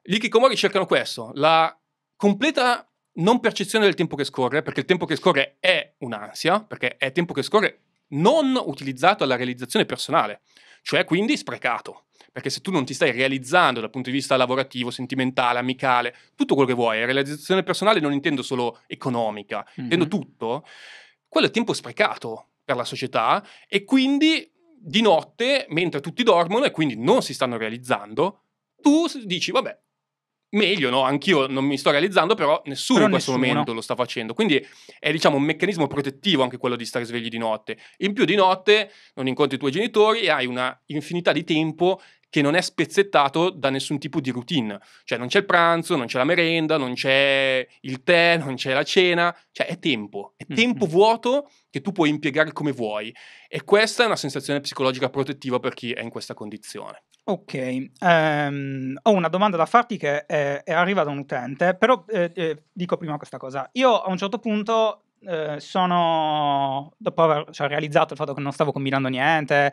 eh, aver fa- molto faticato all'università, per una di, di, ragioni, non solo per questo, quindi non voglio che la gente pensi che sono un eroe, perché assolutamente no, eh, cioè, è stata una, una, una serie di fattori che mi ha fatto perdere un po' di tempo. Poi ho detto, vabbè, faccio un corso a caso, che è stata una roba che mi hanno fatto fare i miei genitori. Mi hanno detto, perché non fai questo? Ok? E io l'ho fatto. Ehm, e poi da lì ho sviluppato, mm, era una roba sul management alberghiero, cioè non c'entra niente con quello che ho, però da lì ho iniziato a, a prendere delle skill, ho preso quelle skill, ho iniziato a dire le posso applicare qui, qui, qui, e da lì eh, ho rimesso in moto la macchina. Certo. Ok. Ehm, non era di certo la prima volta che i miei genitori mi proponevano di fare qualche cosa. Dico questo perché eh, io mi sto ancora immaginando chi sta ascoltando in questo momento e ogni volta che io sentivo eh, qualcuno che diceva dovresti fare perché non fai, fa- ti aiuto io, io avevo un irrigidimento. Esatto. E dicevo no. Eh, addirittura mi ricordo che, a parte che giustificavo sempre il fatto del no, Ehm, con delle, delle, scuse varie, tipo che era normalmente la gente non mi capisce, cioè fondamentalmente era quello, vabbè si parla di un periodo di adolescenza, quindi... Sì, che poi le dinamiche si mischiano, eh? i kikomori di adolescenza spesso si mischiano, sì. quindi alcune dinamiche degli kikomori sono, sono quelle dell'adolescente, sono poi dell'adolescente. Eh, e quindi era sempre no, no, no, la gente non capisce eh, perché io non voglio fare questo, non, è, non sono io il problema, è che la gente non mi capisce. Eh, quindi ti dico questo perché c'è una domanda che secondo me è molto interessante di Matteo che dice eh, sono italiano e introverso. Vivo in Giappone da sette anni però e tutti pensano che io sia estroverso. Quindi c'è questa, questo cambio di no? Perché ovviamente essendo un problema culturale come ti sposti cambiano, cambia un esatto. po' l'aspetto. E lui dice mi ha stupito vedere come ci sia molta tolleranza nei confronti degli introversi e invece fastidio nei confronti degli estroversi. Perché ovviamente le dinamiche sono diverse guardi per terra no e lui dice: Pensavo che fosse questa tolleranza a favorire il fenomeno degli kikomori, e invece la scopro, perché sanno che tu stai arrivando, che esiste anche in Italia.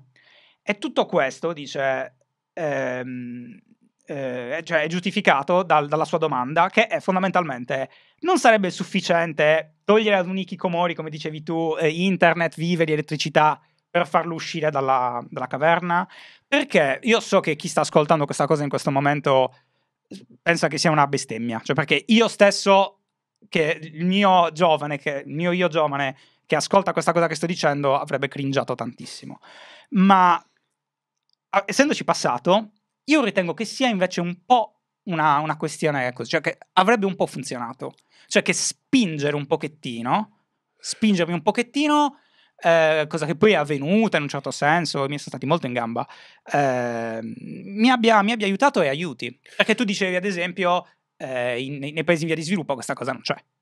Sì, è una questione un po' complessa. Allora, diciamo che la pressione dei genitori deve essere proporzionale a quella che il ragazzo riesce a reggere. Mm. Se tu pressi troppo, come dicevi prima, potresti rigidirti. Quindi fai questo, perché non fai questo? Ma no, lasciami stare, non capisci niente. Certo. non, non... Anzi, una risposta che spesso i genitori si sentono dire è non sono io il malato, siete tu, eh, siete voi i malati, voi società. Quindi okay. siete voi il problema, no? Perché, ripeto, c'è anche un po' una dinamica adolescenziale di rifiuto dell'autorità, eccetera, quindi si, si mischiano. Allora, il tema internet è molto delicato. Io lo definisco il grande equivoco. Perché? Mm. In Giappone questa cosa dell'ikikomori uguale internet non c'è. Perché lì il problema è nato negli anni 60 e si è intensificato negli anni 80, dove il personal computer e internet non era ancora diffuso e quindi lì si capisce che la dinamica è precedente alla nuova tecnologia. In Italia il fenomeno si sta diffondendo in un periodo storico in cui sono esplose le nuove tecnologie e quindi soprattutto i media fanno questo errore, dicono i Kikomori uguale dipendenza da internet. Mm. Infatti tantissimi mi contattano chiedendomi di parlare di Kikomori e poi scopro che volevano parlare di dipendenza da internet e a quel punto gli dico eh, ma è un altro argomento. Magari sono andato anche in una trasmissione televisiva dove loro erano convinti che l'Ikikomori fosse la persona attaccata tutto il giorno allo smartphone o, ah, okay. o tutto il giorno al PC. Non è così. Il ruolo delle nuove tecnologie nell'Ikikomori è un po' sfumato, ha dei pro e dei contro.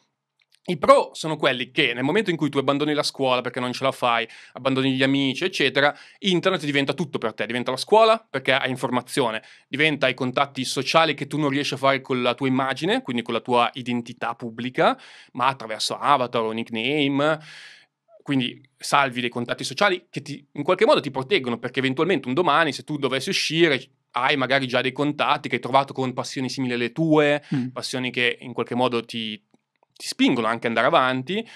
E poi ovviamente internet eh, è qualcosa che ti tiene collegato alla società in generale. Io quando parlo di isolamento sociale bisognerebbe fare una precisione. L'Ikikomori non è un eremita, perché l'eremita è colui che si isola dalla società. Volontariamente. Esatto, ma soprattutto si isola dalla società. Se tu parli con un Ikikomori, questo sa tutto. Probabilmente guarda i tuoi video, sa di politica estera. Quindi non è certo. un isolato dalla società dal punto di vista mentale, lo è dal punto di vista fisico, perché poi è l'immagine fisica, l'identità che si collega ai tuoi fallimenti.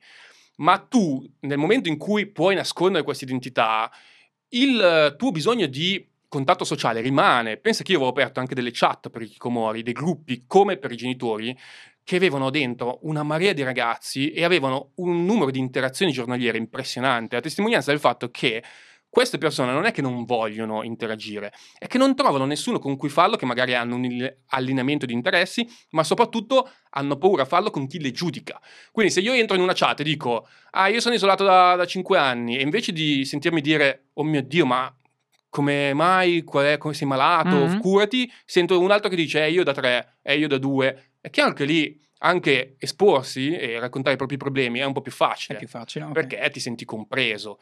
Quindi, diciamo, tornando al tema delle nuove tecnologie, che il computer sostituisce delle cose. Dall'altra è ovvio che poi si genera dipendenza perché diventa il tuo mondo e quindi questo può eh, generare un meccanismo anche di difficoltà poi di staccarsi dal computer, ma quello che ho notato io è che ogni volta che i genitori staccano il computer con la forza, perché capita, il genitore fa uno più uno, vede il figlio il giorno, tutto il giorno al PC e dice PC male, i media continuano a dire che il PC è il male, okay. gli stacco il PC e magari il problema si risolve. No, ci sono stati anche dei casi di cronaca dove il ragazzo si è buttato dalla finestra. Per questo... Perché perde l'unico suo... Ma è un gesto violentissimo. Okay. Cioè, praticamente arriva una persona che ti toglie il tuo mondo, le tue relazioni, i tuoi interessi, il tuo intrattenimento, tu ti trovi tutto il giorno nella tua stanza a pensare a quanto fai schifo, a quanto sei fallito se va fatto questo gesto di togliere il PC, va fatto in modo graduale. No, come... non c'è dubbio, no, io non, non parlavo di no, tagliare, certo. sicuramente neanche Matteo. Certo. Però effettivamente esiste questa cosa o no? Cioè, allora, secondo rendere, me... È... diciamo, un po' più difficoltosa la vita dell'Ikikomori... Men- no, non più difficoltosa, meno comoda. Bravo, questo è il punto. Secondo me le nuove tecnologie hanno accelerato la diffusione del fenomeno, ma lo hanno reso meno estremo. Cosa vuol dire? Che prima chi si isolava sapeva che negli anni Ottanta era un isolamento totale. Quindi a meno che non parlavi con i tuoi genitori, non parlavi con nessuno. Okay. Oggi cosa succede? Che l'opzione dell'isolamento sociale è più soft. Mm-hmm. Non è un salto così repentino come noi possiamo immaginare, è un tendo a fare la mia vita più online e tendo a scartare la mia vita più offline, che è una cosa che già facevo prima, che è stato un percorso probabilmente graduale. Quindi non è un salto del tipo basta, oggi non parlo più con le persone e mi butto sull'online, ma è un certo. già sto tanto online, piano piano preferisco piano, stare sempre più online perché sto meglio. Quindi questa sensazione ti rende anche meno la sensazione di pericolo di quello che stai facendo. Mm. Perché se prima era una cosa repentina, quindi tu dicevi ok, oggi sono isolato, ieri non lo ero Adesso è una. Cioè ci scivoli dentro. Ci scivoli dentro. Quindi quando te ne accorgi che sei sfumato in questa uh-huh. isola- depressione, di isolamento e di, di angoscia, di ansia, a quel punto rischi già di aver perso talmente tanto tempo che poi sei già innescata l'altra dinamica del tempo perso. E quindi quando ti rendi conto di esserti isolato, magari già hai paura di, di essere rimasto indietro. Come si esce? Si dice, ma vado via. la domanda, allora, ovviamente non ho risposte, sono Beh, tutte eh, ovviamente, congetture. Eh, tra tutte le interviste che io alcune, ne ho visto alcune, non tutte perché appunto erano un po', ehm, ho visto alcuni che effettivamente dicevano di non esserlo più, cioè di essere riusciti in qualche modo, alcuni un po' di più, alcuni un po' di meno, a, a perlomeno a sfuggire dalle dinamiche più estreme del loro isolamento. Eh, qual c'è un punto in comune tra tutte le storie? Allora, eh, chi ne esce fondamentalmente ritrova uno stimolo per uscirne. Quindi, secondo me, la cosa chiave è: se uno vuole uscire dalla condizione di Kikomori, non deve prendere e uscire di casa e fare una passeggiata nel quartiere e ritornare. Quella è una cosa che di solito rassicura i genitori, che dicono, ah, mio figlio è uscito. È uscito okay. Oppure, ah, è venuto a sushi con me, perché poi sono tutti patiti di anime, anche questa è una cosa interessante, e quindi poi magari vogliono andare al sushi, eccetera. Però quella è una cosa che... Sono tutti patiti di anime i genitori o gli Kikomori? No, gli Kikomori, però questa è una cosa interessante, perché gli Kikomori sono tutti patiti di anime, magari lo trattiamo in un'altra puntata perché non voglio dilungarmi, però il discorso è, non è l'obiettivo farlo uscire. L'obiettivo è che lui ritrovi la motivazione intrinseca per fare qualcosa all'esterno. Certo. Quindi l'obiettivo è farlo stare bene. Come fai a far sì che un Ikikomori stia bene? Ma soprattutto come fai a far sì che lui trovi la motivazione per reagire a una condizione così brutta dal punto di vista psicologico, così cronicizzante? È un lavoro lungo, è un lavoro di cambiamento della sua interpretazione della realtà. Cioè, lui ha un'interpretazione della realtà molto negativa, molto pessimistica, le relazioni per lui sono qualcosa che non danno gioia, che non sono positive, tu in qualche modo gli devi cambiare questa credenza. Come lo devi fare? I genitori, per esempio, hanno un ruolo importante. Se il genitore è il primo che conferma che le relazioni fanno schifo, è ovvio che tu non dirai, oh che bello, ho voglia di, di uscire. Mm. Ma soprattutto questi ragazzi a volte sono persone castrate dal punto di vista della loro predisposizione personale. Cosa intendo? Cerco di essere veloce, però sono temi no, no, molto no, tranquillo, grandi. abbiamo tempo. No? Siamo... Io parlo tantissimo di scuola, perché? Perché credo che una delle dinamiche che porta l'Ikikomori mm. sia la standardizzazione della scuola, cioè il fatto che la scuola tenda non a valorizzare le individualità, ma tenda a standardizzare. Questo è un problema, perché se tu standardizzi, farai sì che quelli che sono in linea con il tuo standard performeranno tantissimo. E questo è un po' il sistema capitalistico, no? Chi è bravo e chi usa queste regole di, di, di funzionamento, chi è competitivo in generale, mm-hmm. diventa fortissimo. Cioè, oggi mm-hmm. abbiamo sempre più under 30 multimilionari, multimiliardari, perché è il sistema competitivo che fa sì che le persone tir- tirino fuori il massimo. Mm. Ma ovviamente chi non ha queste competenze crolla. Quindi come c'è quello che sfrutta la competizione per eccellere, c'è quello che soccombe sotto la competizione. Quindi il problema è se io standardizzo anche gli obiettivi della competizione, quindi le professioni, eh, gli stili di vita, ti tolgo l'individualità. Se ti tolgo l'individualità come persona, rischio di toglierti le tue motivazioni intrinseche. Faccio un esempio concreto per far capire. Sì. Se io sono un grande ballerino e potenzialmente sono in potenza un grande ballerino, ma a scuola mi insegnano solo le X materie e la danza io non la scoprirò mai a meno che eh, non farò un corso da solo, extra scuola, quindi già magari servono delle condizioni economiche. Io quella mia predisposizione non la scoprirò mai e quindi penserò di non saper fare niente, penserò di non aver talento, penserò di essere una persona senza nessun tipo di, di, obiettivo nella vita. Se io per qualsiasi motivo scopro qualcosa che mi piace fare, allora lì trovo la motivazione intrinseca, perché intrinseca vuol dire che io voglio raggiungere quella cosa, non è qualcosa che faccio per evitare un danno, cioè per evitare un problema eh, o una paura, questa è la motivazione estrinseca, no? Di solito. Faccio qualcosa per accontentare gli altri, faccio qualcosa perché ho paura di fallire, faccio qualcosa perché ho paura del giudizio. Se io trovo qualcosa che veramente mi interessa, mi appassiona, allora lì trovo la, anche la voglia di, di, cimentarmi contro anche la mia personalità. Che ne so, sono timido, trovo la voglia di, di, lottare. Ti faccio un altro esempio velocissimo. C'è un ragazzo che ho conosciuto di 19 anni, che è isolato da, do, da quando ne aveva 12, che l'ho incontrato, perché io mi relaziono molto con gli Kikomori non da un punto di vista clinico, ma diciamo ho contatti un po' più amicali, informali, mm-hmm. che ho scoperto che era molto bravo a disegnare. Allora gli ho detto, fai i disegni per il mio sito, il Kikomori Italia, il blog. Lui ha detto, va bene, li faccio, tanto non ho niente da fare, ti aiuto. Poi questi disegni sono stati visti da una giornalista che si è interessata Mm.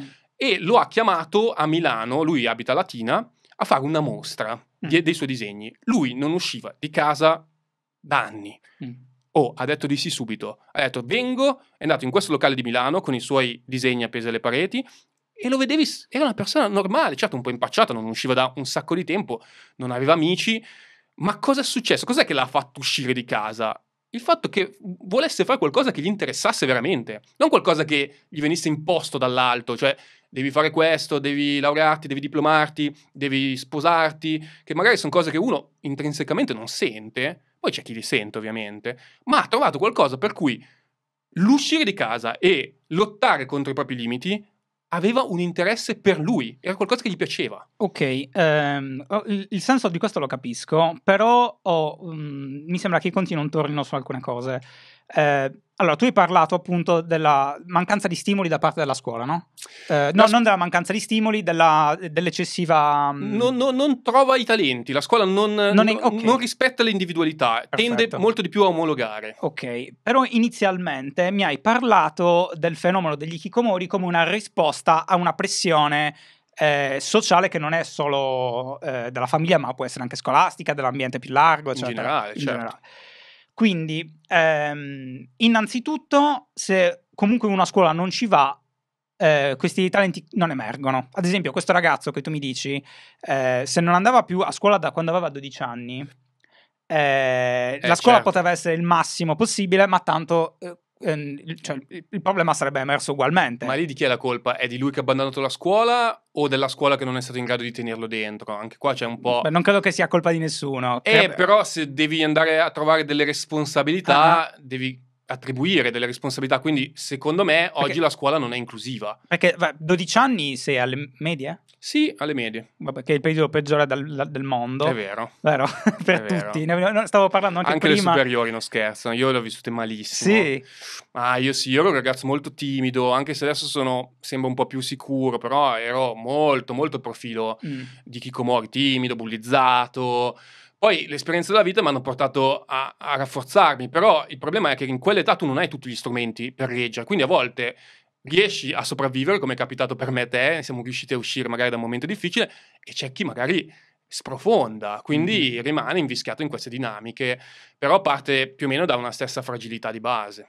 Ok, però vedi, ehm, questa detto una cosa interessante, adesso la recuperiamo, però finendo la mia, diciamo, critica, quello che stavo dicendo in realtà è una mia confusione, eh, tu hai anche parlato del fatto che il fenomeno spesso accade nel passaggio all'università. Eh, il secondo periodo più critico, sono ok. due periodi più critici. Ah, sono due, quindi... ah, Medie superiori, eh, Superiori, post diploma, università. Perfetto. Eh, a quel punto qualche interesse personale dovrebbe già comunque essere emerso, no? Eh, tipo, ok, mm, cioè non, non- non so eh, cosa fare della mia vita, quello è, ti- è tipico dell'università, ma mi piace fare questo e questo e questo, sì. Tipo io sapevo che mi piacevano i giochi di ruolo, che mi piaceva eh, raccontare storie, che mi, cioè avevo anche già una percezione di quello che ero un po' bravo a fare oppure no magari non sapevo come applicarlo. Io non avevo idea che l'avrei applicato in questa cosa che sto facendo adesso. Però un pochino hai già la consapevolezza eh, di quello che sei in grado di fare oppure no, a prescindere se poi la scuola che ti, che ti spinge. Certo, la scuola ha un ruolo, non è tutto, però la scuola ti deve dare, secondo me, più strumenti per capirlo, quindi cercare di farti conoscere più cose, poi tu potrai scoprire cose in cui sei ben predisposto. Per esempio, questo tu a scuola non avresti mai immaginato di poterlo fare, però perché è una cosa che nella scuola non può essere inserita potenzialmente il videomaking, il montaggio video oppure la, la realizzazione di un format per YouTube? Perché la scuola deve essere solo le X materie storiche e basta? Perché tante persone hanno predisposizioni molto variegate, noi siamo molto diversi come interessi. Tu dici uno lo può capire, è vero, lo può capire, se è fortunato magari lo scopre facendo Mm. delle cose. Però poi non ha gli strumenti per riuscire a concretizzarlo in una professione, quindi magari rimane completamente mh, qualcosa che eh, al quotidiano. E l'altra questione sulla scuola è le soft skills, le life skills. Mhm. Cioè la scuola oggi purtroppo, e questo è un macro tema scuola, insegna molto poco a vivere. Io quando chiedo agli Kikomori, ai ragazzi isolati per semplificare, cosa secondo te la scuola ha sbagliato nel tuo percorso, loro mi dicono sempre, o comunque una delle cose che viene più fuori è la scuola non insegna a vivere, la scuola insegna le materie, mm-hmm. però poi io fallisco non tanto nella cultura, ma fallisco nella capacità di stare in questa società, nel reggere le pressioni, nel rapportarmi con gli altri, che sono fondamentali tanto quanto, se non di più mi verrebbe da dire, delle competenze tecniche che puoi invece sviluppare molto di più nella tua vita, hai molta più possibilità di crescere a livello tecnico nella tua vita, ma in quella fase della vita hai molto più bisogno che ci sia qualcuno che curi la relazionalità, che stia attento per esempio che non ci siano dinamiche di bullismo nella classe, problema certo. gigantesco in Italia. Oggi si parla tantissimo di cyberbullismo, ma il problema rimane il bullismo più mm-hmm. che il cyberbullismo perché fa tanto figo no, dire cyberbullismo, però poi il bullismo che avviene in classe, chi lo combatte? C'è qualcuno che se ne interessa? Molto poco secondo me perché è un bullismo magari anche un po' sfuggente, latente, non è il pugno in faccia, non è la sberla, è mm. la derisione, l'isolamento. l'isolamento, il fatto mm. che ti deridano, ti sfottano e mm. questo appunto è il bullismo che porta poi all'ikikomori. Quindi la scuola ha tante responsabilità, non sono solo della scuola, io ogni volta che parlo di qualcuno, eh, gli insegnanti per esempio si arrabbiano, no? Parlo della scuola nei miei seminari e si alza l'insegnante e dice eh ma la scuola ha un sacco di problemi, non ha soldi, ok. Parlo dei genitori e i genitori mi dicono eh ma i genitori... Eh, eh Beh, ovviamente nessuno vuole prendersi eh, la esatto, responsabilità. Esatto. Io, io, non voglio dare la colpa a nessuno, sto solo dicendo ci sono una serie di fattori familiari, scolastici, sociali, personali che favoriscono questo fenomeno. Poi le proporzioni cambiano da caso a caso, ci saranno casi dove la famiglia è ottima e magari il ragazzo è molto fragile, casi in cui la famiglia è un disastro e il ragazzo ha le competenze. Quindi non è così semplice okay. dire da dove nasce l'ikikomori. Sicuramente la cosa trasversale è quest'ansia della pressione di realizzazione personale. Ok, ehm, dico un'altra cosa un po' forte, credo. Vai. Eh, cioè, forte nel senso, di nuovo, mi metto nei panni di chi sta ascoltando certo. e potrebbe avere questa cosa che sono io, fondamentalmente, un tempo, tem- tempi addietro. Eh, ora che io sono arrivato ad avere 36 anni e quindi mi sono fatto tutto un percorso di divent- diventare adulto, iniziare a fare delle cose, eccetera, posso dire di essere comunque grato delle cose brutte che mi sono successe che è un aspetto che ho paura non venga considerato in tutto questo discorso del aiutare nel passaggio che tu dicevi alla vita adulta. Che non è anche un po' fatto di quelle cose. Ora, non sto dicendo che i ragazzi devono essere presi e buttati in una stanza dove vengono bullizzati, per carità. Però è comunque un po' parte del crescere, no? Io sono stato bullizzato, eh, ho fatto delle cose che, delle, delle, quali non sono... Con- che, cioè, no? Ehm, ci sono un sacco di, di, eventi che peraltro avevo dimenticato e sono saltati fuori mentre mi preparavo questo podcast, perché cercavo di ripensare al periodo delle medie, del liceo, un sacco di aspetti, di eh, eventi non belli su di me, su di altri che ho visto accadere. Però alla fine di quelli lì non fanno un po' parte del diventare adulto, del, del costruirti un po' una, una, una pelle un po' più spessa, una corazza. Anche quella è parte della vita. Assolutamente sì. Il problema è che qualcuno fallisce e non, non sai come, perché non è chiara la dinamica, però c'è qualcuno che quel passaggio in avanti non riesce a farlo. Non Quindi tu superi tanti problemi, superi tante difficoltà e diventi sempre più forte. Questo che distingue anche un adulto da un ragazzo, no? certo. Gli strumenti che un adulto ha perché ha fatto delle cose, ha imparato, è diventato sempre più resiliente. Ho capito che questo discorso però per un adolescente non si può fare nel momento in cui la pressione, la, l'elemento negativo è talmente forte che lui non riesce a rialzarsi. Nel momento in cui non riesce a rialzarsi, sprofonda o nell'ikikomori o a seconda della personalità in altre problematiche, mm-hmm. nella, nel consumo di droga, nell'autolesionismo, nell'anoressia.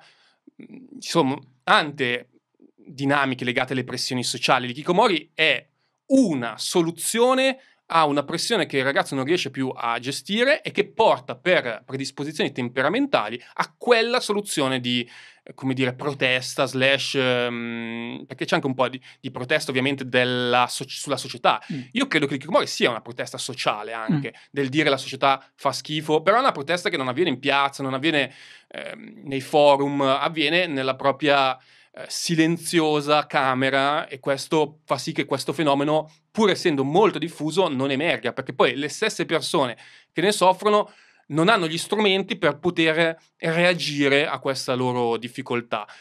Sono d'accordo con te, assolutamente, la, la vita adulta è fatta di, di superamenti, di, di ostacoli e mettere questi ragazzi troppo nella bambagia probabilmente non è la soluzione corretta. Bisognerebbe trovare il limite giusto anche a seconda delle diverse fragilità per far sì che alcuni ragazzi questo livello di pressione troppo alto, a livello medio, distrugga i più deboli certo. e favorisca i più forti, perché secondo me l'ikikomori, lo dico anche in modo semplice, è un effetto collaterale del capitalismo. Non è una critica al capitalismo la mia. Io non sto dicendo è meglio questo sistema o l'altro, sto dicendo che il capitalismo, questo sistema, favorisce la competizione. E in questa competizione ci sono i vincitori, ma ci sono anche i vinti. Ci sono quelli che riescono a emergere, ci sono quelli che perdono, ci sono quelli che corrono e quelli che, che si siedono. L'ikikomori è questo, è chi non riesce a tenere il passo. Quindi tu puoi dire, ma sei debole, ma perché non reagisci, ma perché non riesci a superare questo momento, puoi dire quello che vuoi, però ci sono persone che in questo contesto sociale non riescono a tenere il passo e quindi l'ikikomori è la loro soluzione. Mm è il loro nascondiglio, è, loro, è il loro modo per nascondersi da questa pressione. Se io mi nascondo, nessuno mi vede e se nessuno mi vede, l'ansia del nessuno giudizio... Nessuno mi giudica, perfetto. A parte me, perché il tuo giudizio non, non puoi mai Ovviamente. rifugirlo, quello rimane. E infatti loro tendono a giocare tanto, a intrattenersi proprio per non pensare. Per non pensarci. Perché nel momento in cui realizzano la loro propria condizione, gli cade il mondo addosso e dicono, oh mio Dio, cosa sto facendo della mia vita? E questo è distruttivo, è devastante e può portare a qualsiasi genere di atto. Okay. Eh, però ovviamente queste persone poi messe nella, nel giusto contesto, con i, con i, giusti strumenti, possono ricominciare, possono reinserirsi nella società o no? Certo che sì, il problema è che più stanno isolati è più difficile, mm. infatti la prevenzione è fondamentale, se tu riesci a intervenire nelle prime fasi, quando non c'è ancora l'ansia del tempo perso, quindi non c'è tutta quella dinamica del oh mio Dio come giustifico i miei anni persi. C'è anche una visione della società negativa non cristallizzata, per cui tu stai dieci anni in isolamento e continui a rafforzare la tua idea che la società fa schifo, che tu non vuoi starci, che tu stai meglio lì. Quindi è molto più facile e malleabile una persona intercettata all'inizio. Il problema è che il fenomeno non è conosciuto, quindi poi le persone chiedono aiuto o vengono riconosciute tardi, mm-hmm. quando tutte queste dinamiche di cronicizzazione si sono già innescate e quindi poi tutte le difficoltà di reinserimento sono conseguenziali. Se io riesco a intervenire sulla scuola, per esempio, ho un ambiente in teoria protetto o comunque non competitivo dal punto di vista capitalistico che mi può aiutare a reinserire il ragazzo. Mm. Ma se io lo devo reinserire quando questo ha 25-30 anni nel mondo lavorativo, il mondo lavorativo non ti guarda in faccia. Se tu servi l'azienda, l'azienda ti tiene. Se tu porti i soldi all'azienda, l'azienda ti tiene. Certo. È meritocratico. Infatti, l'altra cosa è che secondo me la parola meritocrazia oggi la usiamo solo in termini positivi, ma in questo caso la grande meritocrazia che è nata nel, nel mondo, anche grazie al web, per cui se sei bravo emergi, ha un effetto collaterale, che è, il, che è se non sei bravo sei un fallito ed è colpa tua. Ok. Questo rende tutto molto più complesso e chi rimane indietro ha molta più responsabilità sulle sue spalle, anche molta meno di probabilità di puntare il dito e dire è colpa sua, è colpa... È colpa tua. La società è diventata molto meritocratica oggi. Se tu non riesci a emergere, guarda, guarda te, tu sei emerso con le tue forze, hai sì. tirato su uno show, sei stato molto... Ah, io non ho detto, però io ti seguo da una vita, te l'avevo detto prima, sì. lo voglio specificare che sono un tuo fan perché ci tengo tanto, io seguo tutto il tuo percorso, tu cosa hai fatto? Sei il classico esempio di una persona che con le sue forze è riuscita a mettere su un qualcosa che poi è diventato il suo lavoro e che quindi è da una parte qualcuno da ammirare, dall'altro è qualcuno che inevitabilmente ti mette ansia perché dici lui è riuscito a fare qualcosa di così grande e io non riesco a fare niente.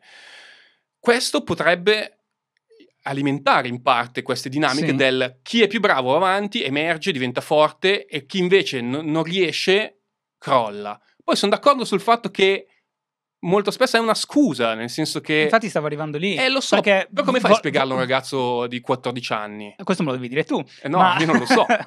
ma eh, perché il discorso che io faccio spesso, se tu poi mi segui da tanto lo saprai, il punto centrale di tutto il mio messaggio è sempre la responsabilità, cioè l'assunzione di responsabilità. Perché io penso che sia quello empowering, non so come si dice in italiano, forse non c'è il termine, che, che, ti, che ti permette, ti dà forza, il fatto di dire è tutto nelle mie mani e quindi questa cosa mi può schiacciare potenzialmente, è quello che schiacciava me. Eh, dicevo, io potrei fare qualsiasi cosa, non sto facendo niente. Bravo. Eh, ma credo che ancora più dannoso di quell'atteggiamento che è un po' un sottoprodotto più che un atteggiamento, sia quello di dare la colpa agli altri. Cioè, colpa della società, è colpa degli insegnanti, è col- magari è anche vero, magari è anche vero. Eh, però eh, a quel punto, questo vale anche per gli adulti, vale per tutto per quanto mi riguarda, nel momento nel quale tu ti togli la responsabilità, come dicevi tu, no? gli insegnanti che dicono no, no, no, noi non c'entriamo niente, eh, non puoi più fare nulla, perché se, eh, se il problema è altrove, tu non puoi agire altrove, e allora, vabbè, allora ti dormi in barca. Esattamente eh. questo è il punto. È forse la caratteristica psicologica più negativa dell'ikikomori, la passività. In psicologia viene definito locus of control interno e esterno. Quando hai un locus of control interno vuol dire che hai la percezione di aver controllo sulla tua vita, quindi anche illusoria in parte, certo, no? Perché assolutamente. Eh, sappiamo che ci sono tante variabili che noi ci illudiamo di, co- di ma controllare, ma non controlliamo. Però una persona che ha un locus of control interno ha un benessere psicologico mediamente molto più alto. Perché? Perché riconosce un impatto delle proprie azioni, del proprio vissuto sulla vita e quindi ha la sensazione di essere padrone della sua vita. Chi invece è passivo, quindi ha locus of control esterno, pensa che tutto sia dettato dal caso, quindi qualunque cosa lui faccia, in qualche modo è passivo, la subisce, o non è responsabilità sua, o non può fare niente per, per migliorare la sua vita. Ed è evidente che questa è un po' la condizione degli Kikomori.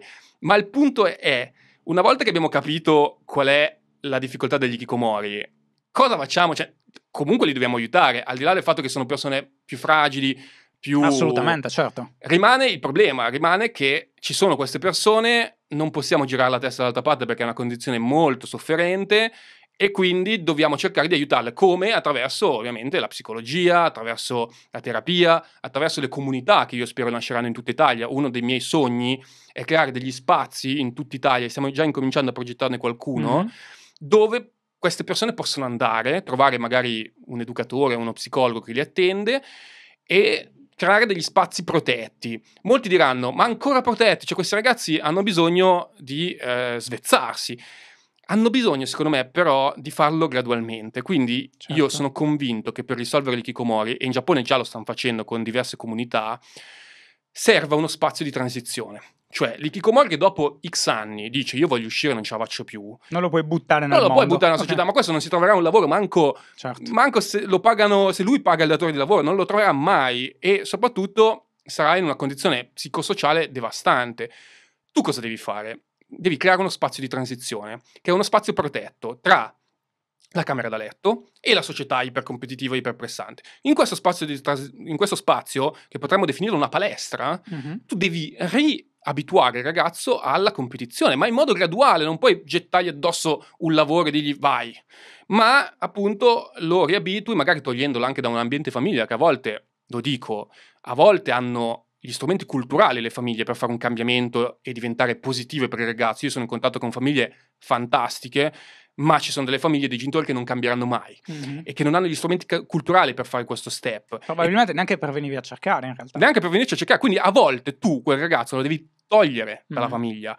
Perché se no, finché sta lì, non cambierà mai, mai. Puoi mandargli a casa educatori, psicologi, psichiatri, non cambierà mai.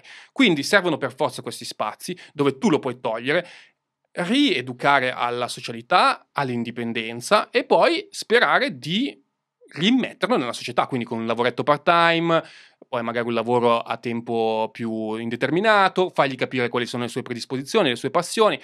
Se tu non crei questo spazio, il salto è troppo alto e quindi i casi più longevi non usciranno mai. Invece per quelli più giovani c'è il discorso della scuola che li puoi magari aiutare a frequentare la lezione nonostante, come si sta facendo adesso col, col virus, sì. nonostante non ci sia, che non, non, posso nominare perché sennò ti okay, demonetizzano. Sì, no, non ti preoccupare. Ho detto virus, ehm, come stanno facendo adesso con la scuola a distanza. Molti Kikomori chiedono tramite i genitori di poter andare avanti a studiare, perché loro vogliono andare avanti a studiare, certo. ma non riescono a farlo. E spesso la scuola si trincera dietro il fatto che non c'è una diagnosi medica, cosa che non è vera. La scuola può fare un percorso personalizzato anche in assenza di diagnosi medica. Questo lo dico se ci fossero degli insegnanti all'ascolto. E però, appunto, quello che succede è che spesso, a volte, la scuola abbandona questi ragazzi. Quindi non viene qua. Pazienza. Mm. Non è mia colpa, o me lo porti qua o io lo devo bocciare. Mm-hmm. E questo è il male, perché se tu aiuti invece la persona ad andare avanti a studiare, magari con metodi alternativi, l'e-learning, eh, le, le, le interrogazioni al di fuori dell'orario scolastico, eccetera, è molto più probabile che lui l'anno successivo si riscriva magari in un altro istituto e continui il suo percorso scolastico. Perfetto. Se tu lo bocci, nel 90% dei casi questo non si riscriverà più a scuola e lo perdi. Quindi se non c'è flessibilità da parte della scuola, c'è un problema. Se neanche la scuola, che dovrebbe essere il sistema inclusivo perché appunto pubblico e perché appunto in fase ancora embrionale della persona, non assiste la persona, non ci possiamo aspettare che lo faccia il lavoro. Il lavoro è competizione, il lavoro è tu sei bravo, mi porti i soldi, ti tengo, tu non sei bravo, non mi porti i soldi a casa, hai 10 lauree, 20 mm. lauree, ma se non mi porti i soldi all'azienda Certamente. sei a casa. Questa è, è, è, come dire, la logica, da, da, una parte bella, molto meritocratica, dall'altra molto crudele. Ok. Eh, parlando di scuola, peraltro, eh, tu hai, hai, spesso toccato dei punti, peraltro c'era proprio una domanda, però li hai già toccati da solo, visto? Benissimo. Perché eh, Marco Ber- Berteutti eh, chiedeva, ha visto, l'ho visto anch'io sul vostro sito, eh, di cinque riforme dell'istruzione che tu hai sì. presentato per ridurre l'abbandono scolastico. È un argomento che io tratto sempre, l'abbandono scolastico, sì. perché la mia terra è falcidiata dall'abbandono scolastico, soprattutto non, non, la zona di Cagliari, ma tutto il resto, l'interno soprattutto, che secondo me è un problema enorme perché a prescindere da fenomeni di chicomori eccetera Ehm, non impari niente, cioè esci, non esci neanche da scuola, nel senso che non ci vai, smetti di andarci, fondamentalmente verso medie e superiori molti mollano e spesso poi non hai delle skill che servono a nessuno no? e quindi si ritorna lì sulla questione dell'utilità e della competitività. Ehm, ho visto che tra i vari punti eh, tu hai già citato ad esempio insegnare le life skills, eh, l'educazione al centro, queste cose che hai già detto, ridurre la standardizzazione eh, c'è addirittura quello di eliminare i voti. Sì, è più controverso. ok, sì, no, certo, no, questo è il posto dove parlare delle cose più, più, più complicate di come di così. Ma ti vorrei chiedere questo, nel parlarne, riusciamo a dargli una, mm, un aspetto di, di realismo? Ora, non, non, per offenderti, ma... No, no, guarda... Eh, tu ne, ne, parli in modo, diciamo... Utopico. Eh, sì, utopico. Eh, vorrei dire una cosa su questo, perché molti lo dicono, ci sono dei sistemi al mondo che già lo fanno. Cioè, non è che sono io un pazzo che un giorno è venuto e ha detto togliamo i voti. In Finlandia, che è uno dei sistemi più avanzati del mondo, lo fanno e funziona. Funziona bene, nel senso che si può fare meno dei voti. So che per noi è inconcepibile, ma non, il voto non è assolutamente non è inconcepibile è, in, è, molto complicato eh, cambiare così tanto eh certo. la, la, struttura della, della scuola che, in modo che si abbandonino i voti che si inizi a insegnare videomaking eh, come fai? Eh, la scuola è lenta a cambiare infatti io l'ho detto non so se l'ho detto in quel video ma sicuramente l'ho detto io sono convinto che queste cose ovviamente sono i punti di arrivo, poi si possono cercare di fare piano, ma il problema è che non li possiamo fare piano, perché la scuola sta avendo un abbandono scolastico in aumento. L'Italia è sì. tra le peggiori d'Europa ed è in aumento l'abbandono scolastico e sono convinto che aumenterà purtroppo. Quindi cosa succederà nei prossimi anni? Si rafforzerà il settore privato, si rafforzeranno le scuole non pubbliche. Stanno nascendo in Italia tante scuole per chi non va a scuola. Io ho parlato ah, alcuni okay. di questi progetti che sono scuole diverse, funzionano in modo diverso, funzionano molto similmente a quello che ho detto io in questo articolo, in questo video, e funzionano bene, funzionano bene perché non, non, non è... è... tipo quelle robe delle scuole private che poi fai l'esame in un'altra no, città, no, è una no, roba no, è ovvio tre che... anni in uno. C'è è niente ovvio. contro chi la fa carità, però no, sappiamo che non è quella così, sono cose completamente diverse e sono molto più centrate sull'educazione piuttosto che sul dare delle competenze tecniche per il lavoro. Uno direbbe in questo momento, ma scusami, eh, tu, ma tu vuoi creare persone ignoranti, cioè togliere i voti, eh, quindi aument- diminuire la competizione. Poi cosa facciamo? Ci troviamo con uh, persone meno preparate. Ed è vero, sono in parte d'accordo. Il problema qual è? Dobbiamo metterci d'accordo su qual è il fine dell'educazione scolastica. Se il fine è dobbiamo creare le persone migliori possibili dal punto di vista competitivo, allora va benissimo questo sistema, anzi mettiamoci più competizione, tiriamo fuori solo i migliori, solo i migliori vanno avanti, diventano bravissimi, mm-hmm. diventano i nuovi Zuckerberg, eh, i nuovi eh, eh, Jeff Bezos, diventano bravissimi. Ma se invece vogliamo tenere dentro tutti, non possiamo tenere l'asticella da pressione così alta in modo che emergano solo i più forti. Dobbiamo certo. cercare di quantomeno diversificare la pressione, cercare di metterne su alcuni che sono più bravi, sono in grado di, in grado di reggerla tanta, e chi magari è più debole, se non lo vogliamo distruggere, cercare di abbassare questa pressione.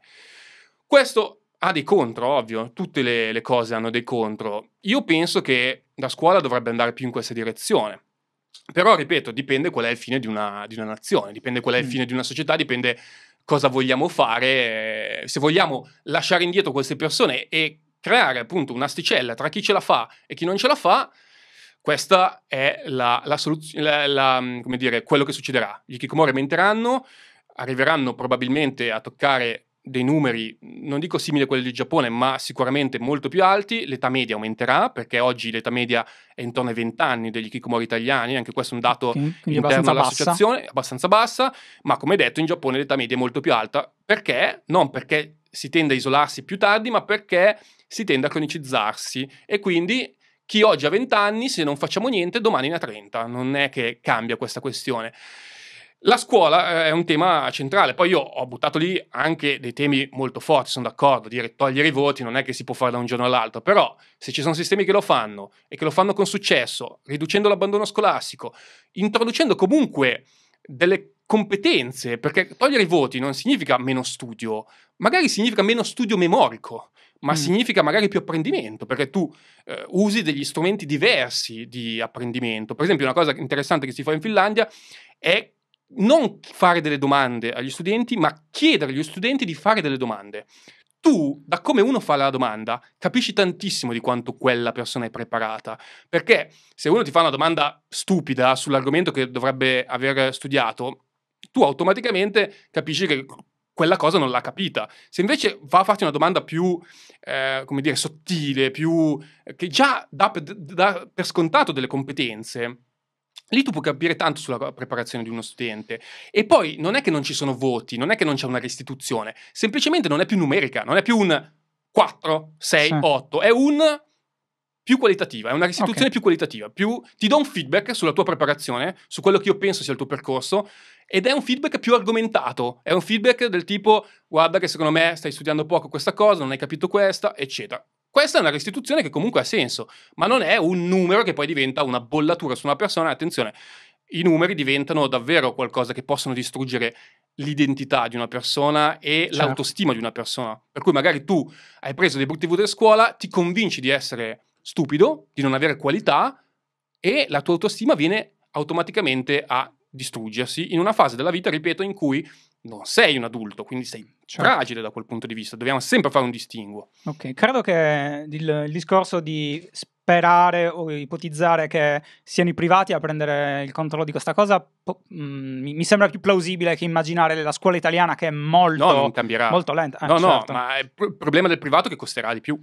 Costerà di più e poi c'è sempre il discorso di, di se effettivamente funzionerà o se sarà un modo per fare Temo che dovrà... non voglio farmela con le scuole parificate, però no, beh, oggi la scuola privata è quella cosa lì, sì. è quella tre anni in uno. Sì. Però temo che, lo dico a, nel senso con dispiacere, perché io riconosco il valore della scuola pubblica, temo che se la scuola non sarà in grado di andare incontro a queste esigenze di una parte degli studenti, ma sempre maggioritaria, perché sta aumentando, temo che serviranno delle scuole alternative. Ma attenzione, non solo per gli Kikomori, anche per chi abbandona per altri motivi. Il classico abbandono sì, scolastico, sì, non ho voglia. Anche per quello può servire una scuola diversa, con un approccio educativo diverso. Il, il problema è che molto del, dell'abbandono scolastico, non parlo degli hikikomori perché quello non lo so, però in generale viene dalle famiglie più fragili, non viene dalle famiglie più ricche. Sta eh, cambiando il trend. Sta cambiando il trend. E mm, stanno aumentando tantissimo i ritirati scolastici a causa della timidezza, dell'introversione. Ok, quello è un altro aspetto. Cioè. E, e, delle famiglie benestanti, perché eh, una perché cosa che non abbiamo detto, l'ikikomori è molto legato alle famiglie benestanti, altamente istruite. Avere genitori istruiti ovviamente ovviamente è un fattore di pressione aggiuntivo. Se tu hai due Perché genitori... tu devi raggiungerli. Eh certo, se tu hai due genitori medici, cioè se non diventi medico, automaticamente hai fallito. Però certo. diventare medico non è così facile, per esempio. In generale si è visto sia in Giappone che in Italia, queste sono cose che ritornano, che è un problema legato a, anche appunto a famiglie scolarizzate, a famiglie con eh, un alto livello di realizzazione sociale dei due genitori e che quindi questo si tramuta in pressione. Ok, siccome a te non piacciono le etichette, eh, posso tranquillamente chiederti se io o te potremmo diventare un Ikikomori tra cinque anni. Lo escludo perché abbiamo superato forse la fase più complessa. Lo saremmo potuti diventare, questo sicuramente, sia io che te. No, no, io parlo proprio di diventare Ikikomori a 40 anni, è possibile? Allora, qua, questo è un discorso interessante perché ci sono casi in Giappone di over 40 che diventano i kikomori sono soprattutto legati per esempio alla perdita del lavoro. Se tu sei una persona già isolata, perché poi di fianco ai kikomori c'è tutto un tema di solitudine, di disgregazione dei rapporti sociali. Cioè, il Giappone ha un sacco di problemi, per esempio, di morti solitarie, persone che muoiono e vengono scoperte mesi dopo, perché non ci sono più parenti e amici okay. che, che, sanno che quella persona era lì e quindi aumentano questo tipo di fenomeni legati alla solitudine, alla divisione delle persone. Il Giappone ovviamente ha numeri più alti perché certo. ci sono certo. tutta una serie di dinamiche legate alla pressione, alla cultura che favoriscono questo fenomeno. Quindi... Questo lo vedo difficile in Italia però, dove comunque la, la, presenza della famiglia allargata esiste in un modo o nell'altro. Certo, non è come negli anni 50, però esiste ancora. In parte, allora, la famiglia italiana in parte è un fattore protettivo da questo punto di vista e in parte credo sia un fattore peggiorativo, perché in Italia, per esempio, si esce di casa molto tardi, sì. anche per una questione familiare, non solo come dicono tutti per una questione non ho i soldi, non è solo quello, è mm. anche per un mood di rimanere più in famiglia. Questo è un fattore ovviamente peggiorativo per la propria indipendenza. Quindi diciamo che anche in Italia ci sono dei fattori che possono essere peggiorativi, però in Giappone come dire, il numero è impressionante, lì il fenomeno ha numeri che non esistono nel resto del mondo, quindi ci sono delle dinamiche molto particolari che lo favoriscono. Quindi la domanda era? Eh, si può diventare Ikikomori a 40 anni? Ecco, lì magari qualcuno perde il lavoro, è già tendenzialmente solitario, si isola anche per questa dinamica. Secondo me bisogna distinguere però, perché un conto è l'isolamento traumatico e depressivo. Un conto è l'ikikomori. Secondo me l'ikikomori deve avere queste due caratteristiche almeno, dal mio punto di vista. Il fatto che il tuo isolamento sia determinato dalla paura del giudizio, dalla paura di essere in qualche modo giudicato per i tuoi fallimenti mm-hmm. e da una visione negativa nei confronti della società. Quindi dal fatto che tu ritieni la società un posto non accogliente in cui tu non mm. ambisci a essere parte. Se ci sono questi due, due, fattori motivazionali che quindi non sono oggettivi, anche per questo non, non è facile da identificare un Ikikomori perché non puoi dire sei isolato da X mesi allora sei un Ikikomori. Per me questo discorso non ha senso perché allora cosa vuol dire? Uno che ti arriva e dice io sono isolato da tre mesi, dici no, torna tra sei, che poi certo, sei un Ikikomori. Certo. Che senso ha? Ma se devo trovare dei fattori, dei criteri, sono questi qua più motivazionali che quindi possono essere capiti solo in un colloquio approfondito. Questi fattori, secondo me, determinano il fenomeno. Poi ci sono tutta una serie di fenomeni che vanno ad accostarsi di Kikomori, la depressione, il fatto che magari appunto ci sia una solitudine maggiore, quindi non so, un anziano che non ha più contatti perché non ha più familiari e tende a rimanere da solo, è un Ikikomori. No, secondo me è semplicemente un tema più di solitudine, di okay. disgregazione dei, dei, contatti sociali. Non è una persona che ha paura del giudizio, non esce perché ha paura che viene giudicato o perché vede la società come negativa, è semplicemente rimasto solo. Beh, però ad esempio, se io mm, fossi un quarantenne che ha appena perso il lavoro, eh, oppure non l'ha appena perso, ma magari l'ha perso da 5-6 anni, fa- faccio fatica a trovarlo, vivo una situazione di non indipendenza economica perché a un certo punto non ho più neanche la disoccupazione, non c'ho più niente ehm, quindi arranco, diciamo. Certo. E questo, questo, arrancare inizia a farmi isolare, non vedo più gli amici perché magari vedo che gli amici va, hanno le loro vite, eccetera, io no. Eh, Bravo. Eh, questo può que- essere quello... una dinamica riconducibile all'ikikomori. Quindi sì. si può in un certo senso. Certo che sì. Il problema qual è? Cioè la differenza qual è? Che tu in teoria in quell'età dovresti essere più resiliente. Quindi è molto più difficile che tu più difficile, okay. sviluppi questo tipo di pensieri negativi dopo che hai fatto tante esperienze che ti hanno formato, ti hanno plasmato. Ma è possibile, assolutamente. Ci sono dei casi la stragrande maggioranza inizia invece nella fase adolescenziale, che è la fase appunto per diverse dinamiche psicologiche più predisposta a questo tipo di negatività, a questo tipo di visione anche eccessivamente pessimistica, perché poi tutti sappiamo che la società è brutta, nel senso certo, ha tante certo, cose negative. Certo. Però quando questa cosa diventa polarizzata, questo pensiero diventa talmente estremo che poi tutti i problemi, diciamo anche le patologie mentali sono di fatto degli estremismi di comportamenti che potremmo definire normali. Certo. Di Kikomori non fa differenza. Una persona tendenzialmente solitaria, che gli piace stare da sola, che non esce, che sta bene così, mm. Non è un Ikikomori, Ovviamente. è una persona con quel tipo di predisposizione. Se questa predisposizione diventa estrema, quindi si polarizza mm-hmm. a causa di tutte le dinamiche che abbiamo detto, lì secondo me inizia a essere un problema riconducibile all'ikikomori, ma lo dico, non voglio tirare una linea netta. A me, certo, a me non interessa tirare una linea netta, non mi serve da un punto di vista pratico, forse servirà dal punto di vista giuridico, burocratico, ma a me come persona, a me non interessa. Non interessa. Senti, pensi che questa è una domanda che un po' esce dal, dal tuo ambito, ma neanche tantissimo, perché vedo che tu comunque tendi a, a parlare anche di società e quindi dei veri aspetti sì, che la compongono. Io spazio, io uso l'ikikomori come anche anello di congiunzione tra vari temi. Poi non voglio passare tutta la vita a parlare solo Perfetto, di ikikomori. facciamolo. Eh, le misure di welfare dei paesi eh, sviluppati, molto sviluppati, favoriscono questo, questo, questo, fenomeno qua. Perché io mi sto immaginando, appunto, ritornando a quell'esempio, il quarantenne che è badabim badabam. A un certo punto va in crisi proprio perché deve per forza fare qualcosa se no muore. Se c'è un sistema come il reddito di cittadinanza, per dire, avevi capito che, che stavo andando di là da mezz'ora, cioè, stavo girando attorno come un falco. Ehm, eh, lo, cioè, lo, può far stare a casa potenzialmente all'infinito. Eh, pensi che questa cosa possa essere peggiorativa del fenomeno o di un fenomeno simile di isolamento o no? Allora, penso di sì, anche se c'è da dire una cosa, che l'ikikomori medio, quindi quasi tutti, non vivono bene la propria condizione, quindi non è che sono il classico figlio di papà, perché poi c'è anche il fenomeno dei NIT, che sicuramente conoscerai. Sì, che si sposa un po' con... Io credo che l'ikikomori sia un po' una sottocategoria dei NIT, perché okay. non studiano, non lavorano, ma a differenza dei NIT non hanno contatti sociali. Certo. I NIT possono essere benissimo figli di papà che non hanno bisogno di lavorare, o anche non figli di papà, ma comunque persone che hanno questa opzione per vari motivi e che quindi che so, la usano. Hanno la ragazza, escono con gli amici, hanno una vita sociale normale, ma sono inattivi dal punto di vista sociale. Okay. L'ikikomori, secondo me, non è così, cioè non è un inattivo dal punto di vista sociale perché non ha voglia, o comunque la, la componente motivazionale è secondaria anche a una difficoltà intrinseca. Io credo che il eh, ma questa cosa non è peggiorativa, scusa se ti ho interrotto. Sì, eh. è peggiorativa soprattutto secondo me su NIT, ma sull'ikikomori secondo me varia poco perché sia che tu glielo dai, sia che tu non glielo dai, non riesce a uscire. Quindi se tu non glielo dai, ipotizziamo che ci sia un ikikomori, gli muoiono i genitori e lui non è mai stato in grado di mantenersi e rimane senza un reddito. Mm-hmm. Cosa può succedere? Ipotizziamo. Prima soluzione. Questo deve mangiare, quindi a un certo punto uscirà di casa come uno zombie, come capita per esempio nell'anime, non voglio spoilerare, ho spoilerato, mm-hmm. vabbè più o meno, vabbè, vabbè. Eh, non è il finale, eh, però eh, capita che, che, come dire, un, un, ragazzo rimanga a casa da solo e, e, per mangiare esca, come uno zombie, non so, si va, mette a fare l'elemosina. Eh, okay eh, si trovi un lavoro. C'è anche un'intervista che ho fatto a un ragazzo che aveva avuto una dinamica simile a questa, per cui a un certo punto i suoi genitori si sono trasferiti, lui non se ne è neanche accorto e a un certo punto ha chiamato il padre e gli fa, pa, ma dove sei finito? Eh, mi sono trasferito perché non ce la facevo più a stare in questa condizione. Wow. E lui ha finito il cibo, ha razionato il cibo e a un certo punto l'ha finito, come un naufrago.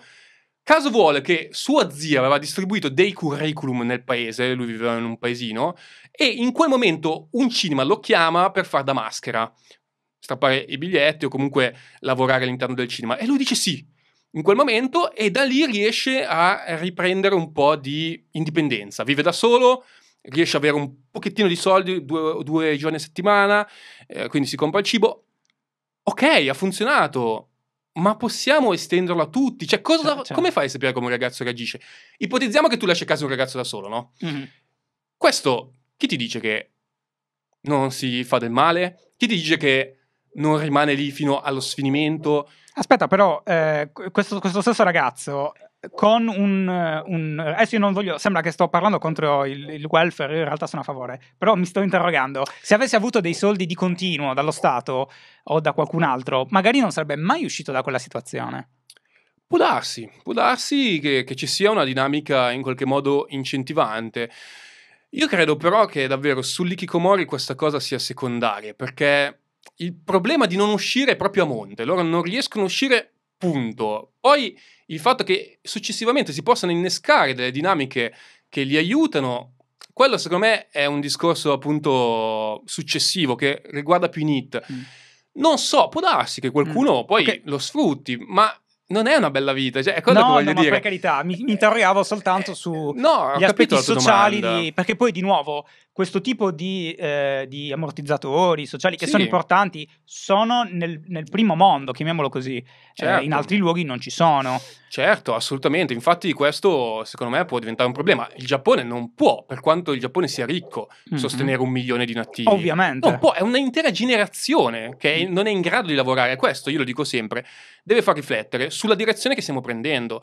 Noi come, siamo... come mondo, dici? Eh, come mondo qual è, occidentale. Qual è la, la nostra principale preoccupazione a livello politico? La crescita. Certo. Il Giappone l'ha fatto per anni, il Giappone è cresciuto in modo esponenziale, il Giappone è ricchissimo, pensa che la disoccupazione giovanile in Giappone è pari al 5%, Mhm. in Italia siamo intorno al 30 o al 40%. Quindi uno potrebbe dire, ma in Italia si generano i kikomori perché non c'è lavoro. Eh no, perché in Giappone sono un milione e il lavoro c'è, quindi non è quello il problema. In Giappone sono ricchissime anche le famiglie, il reddito pro capite è alto, Mhm. non ci sono problemi di povertà, è basso il problema di povertà, di criminalità. Qual è il problema? È che quella direzione dell'iperbenessere non è per forza la direzione più positiva dal punto Per di vista tutti, certo. del benessere psicologico. Psicologico. Il Giappone non è solo il paese col più alto numero di kikomori, è anche il paese col più alto numero di suicidi, Sì. di morti per superlavoro. Sì. Qualcuno dirà, che ci guarda, dirà, eh, ma il Giappone ha delle dinamiche sociali che favoriscono tutto questo. Sì, ma in parte queste dinamiche ci sono anche da noi e sono quelle legate alla pressione. Poi non ce ne sono altre magari di dinamiche, e per questo che noi abbiamo meno i kikomori. Ma la direzione è quella di andare su una società ipercompetitiva dove il livello di evoluzione è proporzionale alla competizione che tu riesci a mettere nella popolazione e quindi a tirare fuori il meglio possibile dai suoi cittadini. Secondo me, questa è una mia opinione ovviamente, non è tutto un dato di fatto, se ne può discutere, secondo me dovremmo rivalutare come società qual è il nostro fine, se lo sviluppo economico o la soddisfazione psicologica dei cittadini. Questa cosa, secondo me, il Giappone ci spiega che non è così immediata, cioè che non è che se tutti sono ricchi in una nazione automaticamente sono tutti felici. Perfetto. Questo, secondo me, è un campanello, l'Ikikomori è un campanello, un monito che ci dice siamo sicuri che quella è la direzione che vogliamo prendere, che vogliamo diventare come il Giappone, super evoluti, super tecnologici, super eh, appunto completi da tutti i punti di vista, ma con un sacco di problemi sociali. Forse dovremmo cercare di ribilanciare un po' i nostri interessi, che non significa distruggiamo l'economia e viviamo Certo. in povertà, significa ribilanciare un po' anche relativamente al tema scuola quali sono le nostre priorità. Se la supercompetizione o il cercare di creare una società più inclusiva possibile. Io temo che le due cose non siano completamente compatibili. Mm, Ok, Cioè, ti devo chiederti un'altra cosa, sono terrorizzato da aprire questo argomento. Perché sono troppo lungo? No, sono terrorizzato per l'argomento in sé. In- par- partiamo con una domanda secca. Perché la maggior parte degli hikikomori sono maschi? Ah, perché Sto- se ne- ricominciando a volteggiare Se ne voglio dire argomento. una di, di motivazione è il mega tema delle pressioni eh, sociali legate al sesso. Il sesso non è percepito in questa società, non ha lo stesso peso, non ha la stessa dinamica per uomini e per donne. Mm. In base al tuo ruolo di genere tu avrai pressioni sessuali diverse. Pressioni sessuali. Eh, descrivimi cosa significa pressioni sessuali. Dimmi tu quanto posso andare nel dettaglio. Pressioni Quanto sessuali. vuoi. Un ragazzo oggi eh, deve... eh, Allora, aspetta, riformulo. Lo status sociale, il livello di realizzazione personale di una persona, Mhm. mi sono ripetuto, è anche parametrato in base alla propria forza sessuale. Cosa significa? La propria capacità di attirare partner, la Mm. propria capacità di essere percepito come un partner sessualmente interessante dal punto di vista femminile. Questa cosa condiziona lo status sociale molto più degli uomini che per le donne. Perché? Perché i due ruoli di genere creano un'alterazione delle dinamiche legate al mercato del sesso. Passami il termine, è un Sì, po' sì, brutto. sì, sì, sì. Cosa vuol dire? Che l'uomo oggi sembra ossessionato dal sesso e la donna ha tantissima richiesta e ha una grande possibilità di selezione. Certo. Perché ha tanti uomini che le si offrono e lei può scegliere. Bene o male, questa è una dinamica abbastanza media. Poi ci sono ovviamente gli uomini più belli che hanno tanta richiesta e le ragazze magari meno belle. Meno belle intendo dal punto di vista fisico e mentale, eh, non Sì, sì, parlo sì. solo di bellezza fisica. Però cosa succede? Che questa alterazione ha creato un problema, che ci sono tanti ragazzi che fanno proprio fatica a rendersi attraenti, perché le ragazze hanno tanta offerta, quindi hanno più potere di selezione e la selezione impone la scelta migliore. Certo. Dunque, se tu, per diversi motivi, caratteriali in particolare, a mio modo di vedere, in parte fisici, non riesci a essere attraente, ne risentirà anche la tua realizzazione sociale. Cosa significa in altri termini? Ti sentirai uno sfigato. Cioè, è Pensa- un'autovalutazione. È un'autovalutazione, è una valutazione in parte che ti viene data anche come feedback dalle persone, perché è tutto un po' eh, valutato in base anche a come tu ti senti percepito dagli altri Mhm, e quindi ti costruisci la tua immagine di te. La tua identità Certamente. dipende da come tu pensi che gli altri ti percepiscano. Quindi poi è un tuo pensiero ovviamente, quindi tu puoi interpretare gli altri sempre in modo negativo. Chiunque mi guarda pensi che io sia brutto, pensa che io sia brutto, invece sono una bellissima ragazza, cosa che capita spesso. Certo, ma quindi per capire, eh, prima di farti andare avanti, significa che un uomo eh, sessualmente appetibile, non so bene come chiamarlo, eh, si rende conto di esserlo perché gli altri lo notano e quindi mh, mm, glielo fanno notare. Cioè, se sei un vincente perché sei ha, un figo. Ha maggiori feedback positivi da parte del okay, partner. Perfetto. Dei partner, Dei partner del, eh, si riconosce più accettato, più apprezzato. Pensa per esempio al concetto di verginità mm. nella società moderna. Quanto è uno stigma oggi la verginità? Cioè, se tu sei vergine oggi a un'età avanzata, mettiamo così, okay. non in, nell'età in cui dovresti ancora esserlo, quanto ti fa star male questa cosa e quanto ti vergogneresti a dirlo a qualcuno? Eh, non lo so. Non ne ho la minima idea. Mediamente gli uomini molto più che le donne. Ok. Perché, ripeto, per l'uomo l'essere vergine è molto più come una condizione vissuta sulla sua sconfitta. Sei vergine perché sei sfigato tu, perché sei tu che non riesci ad attrarre partner. Sulla donna, mediamente, è un po' più, parlo dal punto di vista sociale, eh? non voglio generalizzare, però mi sembrano dinamiche sociali abbastanza, mm-hmm. dal mio osservatorio, rilevanti. Sulla donna la verginità è più un, vissuta come una scelta. Cioè la donna decide di aspettare a concedersi. Questa Siamo cosa... Siamo sicuri che sia vero questo, però. Una donna quarantenne che dice no, ho aspettato sino adesso io parlo di, secondo me, di percezione sociale. Poi ripeto, mia opinione, io vedo che tra le pressioni sociali, cioè tra le cose che gli Kikomori valutano come più negative rispetto a quelli che gli altri pensano di loro, c'è questa sensazione di non essere proprio in grado di, di attrarre partner. partner. Okay. Cioè, tutto un altro fenomeno che io ho iniziato a trattare, che ho conosciuto grazie al fenomeno degli Kikomori, che è quello degli incel. Non so se l'hai mai sentito sì, nominare. Sì, certo. Gli incel sono, anche in questo caso, una parte di persone che si trovano a causa di dinamiche sociali alterate dal tempo, sì. alterate non significa positive o negative. Io quando parlo di queste cose, molte persone pensano che io che stia dando un giudizio. un giudizio, cioè sto dicendo che le donne sono brutte, gli uomini sono... Non è, non è un giudizio, mm. io riconosco queste dinamiche sociali e cerco di capire a che fenomeni portano. Mm. Gli incel, cioè gli involuntary celibates, che è un capitolo a parte, sono generalmente maschi eterosessuali che diventano a volte misogini anche, ma particolarmente negativi nei confronti dell'altro sesso, ma in generale sono maschi che non riescono ad avere rapporti. Sì.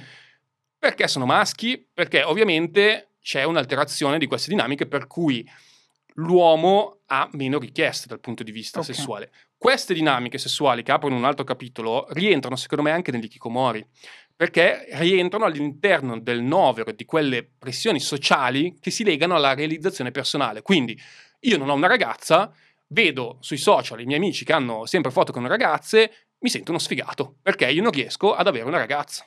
Questo è una pressione di fallimento sociale, come può essere un lavoro, come può essere il fatto di non avere amici, il fatto di non uscire sabato sera, tutte queste cose si legano, ma le pressioni sessuali sono particolarmente forti anche perché sono diverse per il ruolo di genere. Ci sono pressioni, per esempio, l'uomo per il suo ruolo di genere è più invogliato ad avere, relaz- avere relazioni sessuali, anche se biologicamente questo non è vero che l'uomo è più invogliato ad avere sesso, quindi si pensa che l'uomo sia ossessionato dal sesso perché è una cosa biologica. Mm. No, è molto una spinta sociale. Le donne si pensa a volte che siano meno invogliate al sesso per una questione biologica, ma è anche tanto dal punto di vista sociale, cioè le donne hanno un ruolo di genere che le disincentiva un po' dall'avere tanti partner. Sì, certo. Per farla semplice, un uomo che ha tante partner è figo, una sì, donna sì. che ha tante partner è una facile.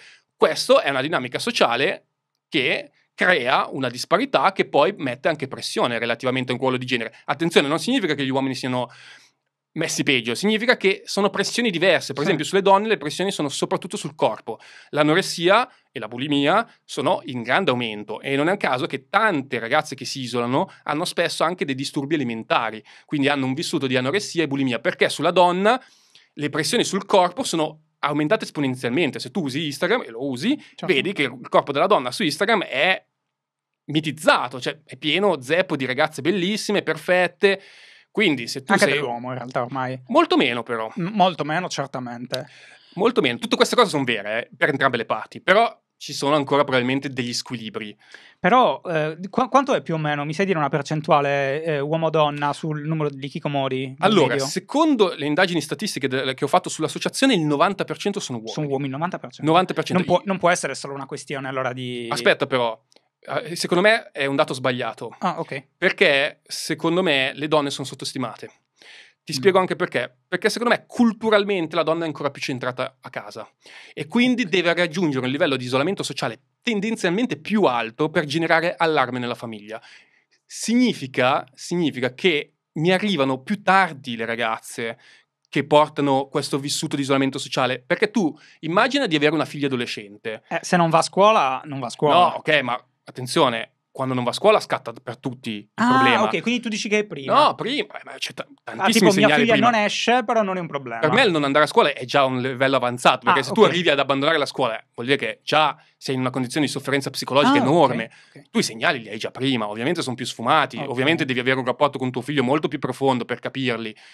E lì vengono molto sottovalutate le ragazze. Mhm. Poi quando ovviamente abbandonano la scuola, lì tutti i genitori. Quindi impazziscono. non è una questione di, eh, cioè te ne accorgi se tua figlia si chiude nell'armadio, però se magari non esce la sera, lo percepisci come un problema eh, meno importante o come un non problema rispetto al figlio che non esce la sera. Purtroppo a livello culturale sì, Mhm. Però, detto questo, sia in Giappone che in Italia sono più maschi, perché anche in Giappone il numero di maschi è superiore al 70%. E Io questo credo- dato è solo, secondo te, la- l'unica differenza è questa qui? No, ce ne sono tante. Ok. Ho, ho scritto anche un articolo sul sito precedente all'ultimo sulla scuola che va proprio a analizzare il perché sono soprattutto maschi.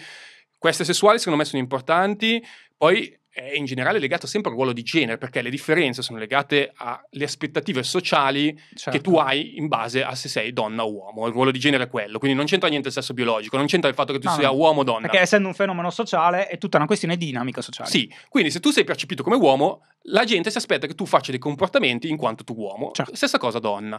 Sugli uomini l'importanza sociale della- del gruppo, della relazione, è mediamente più alta che sulle donne. C'è anche un, tema, un termine inglese, male banding, che significa proprio in psicologia sociale la tendenza dell'uomo a dover fare dei gruppi, delle congreghe, delle situazioni sociali molto più delle donne e che queste offrono a lui una sensazione di maggiore forza sociale. Quindi un uomo mediamente più isolato socialmente oggi ha ancora più pressioni rispetto alla donna. Poi un altro fattore, sono tutti cofattori che si alimentano tra di loro, è mediamente sempre a livello culturale, non a caso che il Giappone e l'Italia sono due culture molto eh, che rimangono legate al patriarcato in parte, quindi con una, ruoli di genere ancora un po' sbilanciati, dove il padre, per esempio in Giappone, ehm, va sempre a lavorare perché deve mantenere la famiglia e quindi il padre nei gli hikikomori giapponesi è una figura molto assente, Mhm. la madre invece molto presente, quindi si crea questo squilibrio madre-figlio,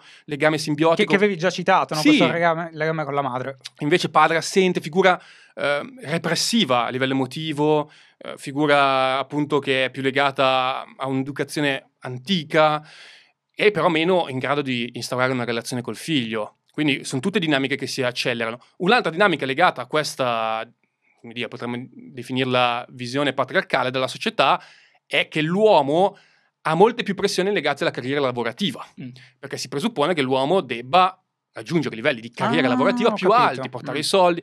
Sulla donna c'è ancora più culturalmente lo stigma della madre, un giorno Ok. diventerai madre, un giorno... Certo. Quindi questo... Quindi anche se non ti realizzi professionalmente, anche se è brutto, la società mette meno pressione Meno. su di te. Ok. Secondo me questa è un'altra concausa che rende il fenomeno di Kikomori più eh, spostato sui maschi. Però, ripeto, queste da sole non giustificano questa sproporzione. Io credo, e sono abbastanza convinto di questo, che l'aspetto sessuale sia quello più predominante tra i vari squilibri. Detto che io spero che con il progressivo miglioramento o come dire appianamento delle differenze dei ruoli di genere, si spera che si Mhm. vada in questa direzione, il fenomeno degli hikikomori inevitabilmente, non essendo dovuto a dinamiche biologiche, andrà a pareggiarsi nei numeri, quindi probabilmente nei prossimi anni saranno sempre più donne a eh, coprire questa percentuale del, del 30. Io credo che anche in Italia verosimilmente siamo a 30%. 70-30. Ok.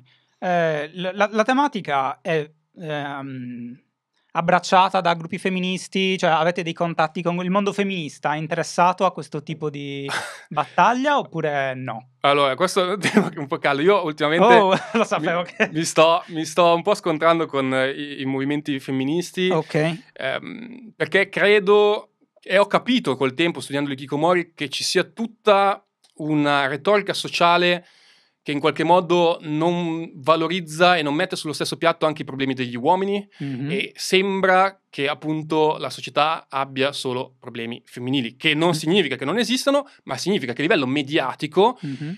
l'uomo fa più fatica a portare a emergere i propri problemi e quindi c'è un po' la sensazione che l'uomo non li abbia, cioè che Mhm. l'uomo sia sempre il maschio privilegiato Mhm. e quindi è in una condizione privilegiata e attenzione, questo aumenta la pressione, perché se tu sei un maschio bianco, eterosessuale che ha tutto, diciamo, Mhm. per spaccare, non sei una minoranza, se fallisci è colpa tua, Certo. ancora di più. In più, l'uomo per ruolo di genere tende meno a portare a galla i propri problemi, pr- proprio per questa anche repressività delle emozioni, per, questa sua, per questo suo ruolo anche di persona forte, sicura di sé. E questo fa sì che tutte le problematiche legate al ruolo di genere maschile facciano fatica a emergere a livello di dibattito mediatico e per cui gli uomini non riconoscono neanche di averle, mentre quelle femminili, siccome le donne le portano con maggiore forza, assumono anche a livello mediatico un maggiore dibattito e le donne sono più consapevoli di questi loro limiti, difficoltà legate al ruolo di genere sociale. Questo crea appunto una categoria, quella degli uomini, che in parte è meno tutelata, secondo me, dal Mm. punto di vista del dibattito pubblico. Questa è la mia opinione personale. So che alcuni non saranno contenti, ma non è, lo voglio precisare, una critica nei confronti delle donne o degli uomini. Per me l'obiettivo non è fare come si sta facendo adesso, apro il tema femminista se ti interessa, ma dimmelo se non ti interessa, Mi interessa.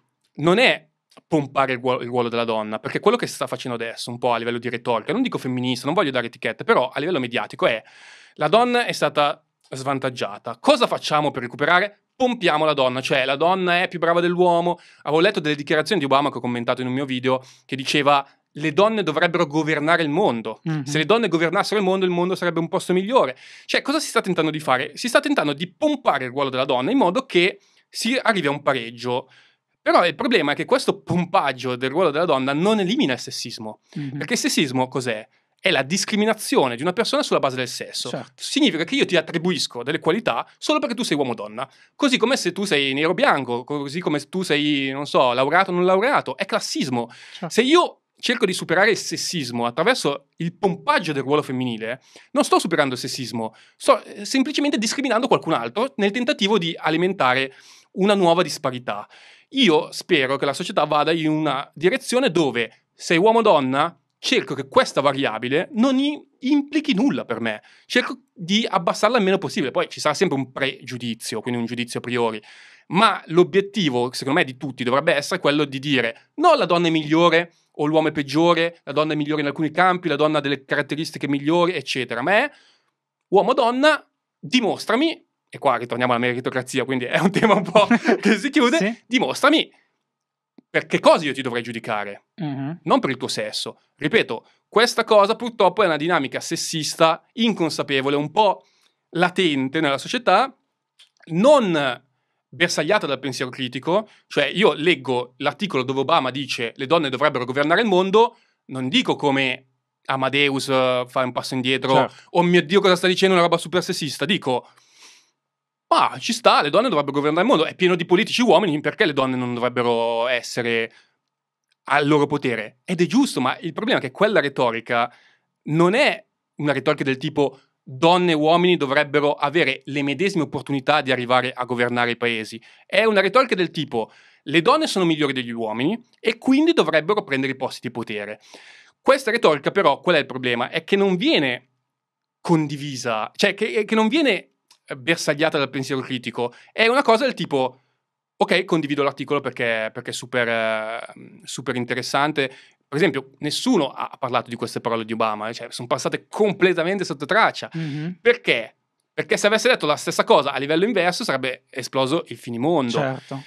Io credo che questa dinamica sociale sia in parte ricollegabile al fenomeno di Kikomori e credo che mh, il ruolo del maschio, inteso come ruolo di genere, sia in parte in pericolo proprio per questo motivo, proprio perché non si riconosce che si sta generando inconsapevolmente un clima sociale per cui i problemi legati al ruolo maschile non emergano.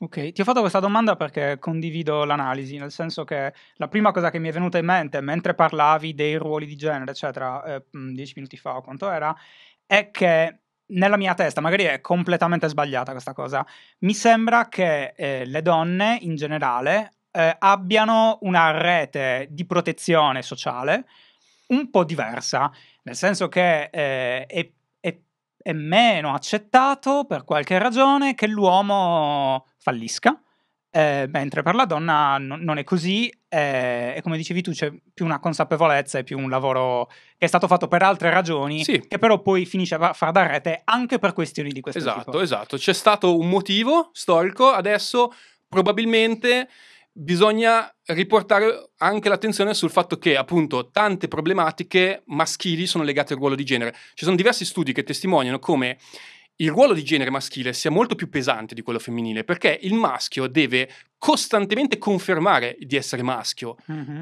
Cioè, se tu sei una donna, è molto più facile che tu venga percepita come donna per le tue eh, sembianze biologiche. Il maschio viene percepito maschio se mantiene un certo grado di virilità. Okay. Questo è un peso perché vuol dire che tu, se non riesci a mantenere quel grado di virilità che ti determina maschio a livello sociale, sentirai la pressione a dover cambiare il tuo comportamento, a doverti mostrare più virile, più macio, più ehm, appunto sicuro di te. Magari sì, sei una persona timida. Anche questa dinamica, per esempio, eh, relazionale, per cui l'uomo tende a fare più il primo passo, che ci provi, che, sì. che debba essere il predatore, è una pressione per chi è più fragile Ovviamente, perché non sarebbe portato a comportarsi no. in questo modo. Cioè. E oggi il maschio insicuro, proprio a livello anche istintuale, non piace, non è attraente. Non lo dico da un punto di vista stereotipico, lo dico da un punto di vista generale. Poi ci sarà non credo la... che sia oggi comunque, credo che sia e basta. Rimane molto anche oggi. Io te- cerco di, di, smorzare perché non voglio essere particolarmente netto, perché non si può generalizzare sempre a tutti i casi. No. Qual- quando io dico queste cose, magari qualcuno dice: eh, Ma io non sono così. Eh, sì, certo. Ok, Mediamente. è una dinamica sì. sociale. La dinamica sociale ti porta a essere percepito come meno attraente se sei più insicuro. Certo. Nella donna non c'è questa cosa. Cioè, una donna più insicura, più timida, non è meno attraente. Anzi, è quando al massimo devi dal suo ruolo di genere che è meno attraente. La donna un po' meno attraente è quella più mascolina, quella che appunto devia da, dalla, dalla femminilità. Però che però è di nuovo una dinamica sociale, nel senso che è la sì. donna che diventa indipendente e quindi magari fa paura e quindi... Cioè, eh... Certo, pensa che le donne che riescono di più nel mondo del lavoro sono quelle che eh, riescono ad abbassare il loro livello di femminilità. Certo, certo. Perché una donna più è eh, femminile, più è sessualizzata e più una persona è sessualizzata, più è percepita come meno competente. Quindi significa che se una donna è sessualizzata, la sua competenza passa in secondo piano. Questa è una dinamica, per esempio, che sfavorisce le donne in alcuni ambienti lavorativi. Mm-hmm. A onore del vero, che ci sono tanti problemi anche sulle donne, perché poi, ripeto, quando faccio il discorso dell'attenzione ai problemi degli uomini, poi c'è sempre qualcuno che interpreta questa cosa come, eh, ma allora le donne... Sì, ma infatti questo per me è un grande problema. Io questa cosa ho deciso fondamentalmente di non parlarne quasi mai. Eh, lo vedo perché eh, ogni volta che provo a portare la questione sul tavolo, eh, quello, quello è, il, è, il, è, il, fenomeno che, che emerge. Ehm... Io sto insistendo invece in quest'ultimo periodo, l'ho preso un po' a cuore perché mi dà fastidio proprio l'ipocrisia che c'è dietro questo tema, però capisco che allontani, quindi anche... No, non è una questione no. che allontani, è una questione... Se, allora, il punto è che sai perché credo eh, che succeda quello che tu dici, cioè pompare, l'hai definito tu, perché quando c'è un, un, sistema di comunicazione bisogna far arrivare dei messaggi, questi messaggi se sono troppo complicati non arrivano. Eh, io ormai questa cosa l'ho imparata analizzando la politica per certo. anni, eh, quando tu fai tutto un discorso arzigogolato, che poi quello che io faccio, eccetera, non passa mai niente, no, certo. deve arrivare un messaggio forte. Il messaggio forte è normalmente eh, aiutiamo le donne o... Il femminicidio. Eh, femminicidio. Il femminicidio è la dinamica virale per eccellenza. Perfetto. Eh, lì, perso- lì, il messaggio può attecchire. Certo. Quando invece il discorso è sì, però eh, non, cioè, non sbilanciamoci dall'altra non parte, passa, ricordiamo, non passa, non passa. Infatti, infatti, femminicidio, uomo fa del male fisico a una donna, lineare, chiaro, mm. condivisibile, immediato di impatto social. Io infatti ho fatto un video appunto sulle dinamiche che portano a questa eh, divisione, di, di divisione e, e, la eh, viralità è una di queste. Mm. Cioè sui social le tematiche tipo il femminicidio non perché non siano importanti, ovviamente lo sono, ma hanno Certo. un potere virale per il loro contenuto semplice, immediato, Mhm. enorme. Se tu vuoi fare un discorso più complesso come questo, il livello di condivisione è molto più basso perché devi cercare di fare uno sforzo un po' più razionale, devi cercare di mettere da parte le, le tue opinioni, devi cercare Mm. di, di andare un po' oltre il senso comune. Ecco, il problema secondo me è questo, che questa condizione della donna superiore all'uomo, da un punto di vista di pompaggio, Sì. sta entrando nel senso comune. Nel momento in cui entra nel senso comune e quindi è accettata, eh, abbassa il pensiero critico. Se, tu, se qualcosa entra nel senso comune, tu non lo, non lo metti più a livello critico Ah. se non hai un alto pensiero critico e quindi lo dai per assodato, lo dai come un assunto. Ma io credo che ci sia molta ipocrisia dietro al- all'accettato, nel senso che credo che molte persone dicano questa cosa ma non la pensino. La maggior parte delle È persone... politically che no. correct, non puoi di- non dirlo perché non sennò puoi vieni... non dirlo, certo. Io non lo Eh. dico mai, ad esempio, perché io non lo credo che una donna sia meglio di un uomo, un uomo sia meglio di una donna in base al suo genere, cioè è una stronzata. Eh, Eh. Il problema è che non lo puoi dire, nel senso, non puoi dire que- queste cose. Addirittura ci sono persone che mi scrivono, adesso che sto trattando questo tema, Marco, ma come sei coraggioso, metti in pericolo la tua professionalità per questa cosa. Ragazzi, ma eh, cioè, non sto dicendo la donna o l'uomo è superiore, sto dicendo che uomo e donna sono fondamentalmente uguali, tant'è che ci sono degli studi che dimostrano come la differenza intergruppo, cioè tra donne, Mhm. sia mediamente superiore della differenza tra gruppi, tra- cioè tra uomini e donne. Significa che una, una donna differisce molto più mediamente dalle altre donne che tra donne e uomini. Questo Ok. dimostra come molte delle nostre credenze sulla differenza dei sessi siano in base all'educazione. Mhm. L'educazione, fin da piccoli, ci Certo. impone certi meccanismi. Ruoli di genere. Quindi anche che la Ah. donna sia più emotiva, e l'uomo è meno emotivo, sono tutte cose che a livello biologico hanno poca spiegazione, hanno sì l'aspetto ormonale, però sono tutte spiegazioni deboli. Mm. Quello che determina la differenza di ruoli di genere, per cui io passo per strada, vedo una donna e la riconosco, e vedo un uomo e lo riconosco, è l'educazione, è il fatto che tu cresci con dei modelli educativi e che segui quei modelli. Il mio obiettivo con questo discorso è cercare di dire, attenzione, che quello non è il sesso biologico, è il ruolo di genere, Certo. dobbiamo cercare di andare oltre. E invece no, secondo me la retorica di questo periodo è proprio la retorica del e con pagine che non so se posso citare, ne dico una su tutte, Frida, una Mhm. pagina che sfrutta il femminismo, non so se la conosci, l'hai mai sentita? Eh, eh, sì, vagamente.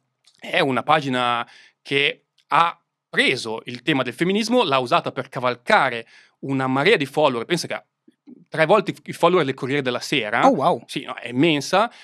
E cosa fa? Sfrutta queste dinamiche femministe per poi vendere dei prodotti, ovviamente. Quindi cosa fa? Rafforza il ruolo di genere femminile, crea la categoria donna attraverso i colori, il rosa, Ok. le immagini. Quindi prima rafforza il ruolo di genere e poi lo sfrutta a livello marketing. Invece quello che dovrebbe essere il nostro obiettivo come società è cercare di appiattire i ruoli di genere nel senso che non devono diventare una discriminante a livello sociale.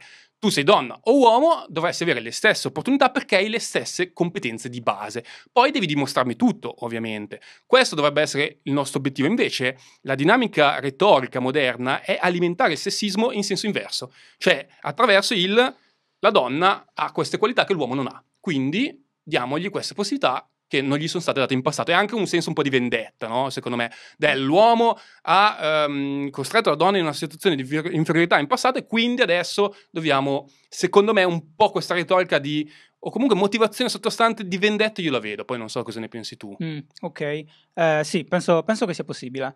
Eh, ora, mm, volevo chiederti un'ultima cosa, adesso che hai distrutto la tua... La tua... Sì, sì, ma io l'ho già distrutta, ma adesso finalmente l'ho distrutta dove mi vedono, perché io ho un canale YouTube piccolissimo, da qualche decina di migliaia di follower, dove tratto questi temi, però qua che mi hai dato questo palcoscenico, poter dire queste cose, sicuramente arriveranno carriera, ok. a più persone e distruggerò la mia carriera, sì. Ehm, volevo chiederti in, in chiusura, così se vuoi puoi anche parlare delle tue attività, nel senso, Sì? se eh, all'ascolto in questo momento ci fosse una famiglia o eh, un Ikikomori, eh, uomo o donna che sia, che vogliono chiederti aiuto, eh, cosa devono fare e come devono farlo? Allora, io sono su tutti i E social. cosa fare a prescindere? Allora, sicuramente chiedere aiuto, incominciare a contattarci, la mail è info-kikomoritalia.it, possono farlo tramite il sito, Facebook, Instagram, eh, sono un po' ovunque e lì iniziare un percorso di consapevolezza del problema che non è appunto il mi dia uno psicologo, ma è il prima capisco io e poi cerco di eh, capire come possa essere io un elemento positivo per il figlio, perché quello che diciamo sempre è dobbiamo aprire la prima porta. ci sono due porte per far uscire un hikikomori. La prima è quella della stanza. La seconda è quella della casa. Se io non riesco a aprire la prima porta, quella della stanza, cioè se il figlio non riesce ad avere un rapporto con i genitori, come posso sperare che questo mi apra la seconda? Come fa a fare questo salto? Almeno deve riuscire a vivere bene all'interno della casa. Poi io posso provare a fargli fare il salto successivo. Quindi la prima porta è fondamentale. Quindi questa è la prima domanda. La seconda era? No, Eh. era, era solo questa. Come mi può contattare? Sì, sì. Ah, poi mi dicevi che mi lasciavi uno spazio per... eh, Uno per- spazio per... No, dicevi, mi volevi No, lasciare... nel senso, se volevi dire, in realtà l'hai già detto, ti contattano principalmente su Facebook, tramite il tuo sito Uh, Ikikomori Facebook, Italia. eh, mail, io ricevo decine, almeno 5, 6, adesso co- coronavirus, ah, l'ho detto, vabbè, non può ritagliare, eh, un po' meno, ma mm, decine, nell'ordine di decine al giorno. Ne ricevi? Ne ricevo decine Wow. di contatti al giorno, però in tutta Italia, quindi vengono smistati nei vari gruppi. Sì, sono tantissimi. Io credo che, ripeto, ci sia un sommerso di questo problema enorme, perché quando se ne parla, se ne parla male. Se tu senti parlare Mm. di Kikomori sui media, bene o male, eh, se ne parla male. Ne parla male. La prima domanda che abbiamo fatto in tv è stata: ma gli Kikomori sono gli emo? Oh, wow, Questa è stata la prima, il primo impatto.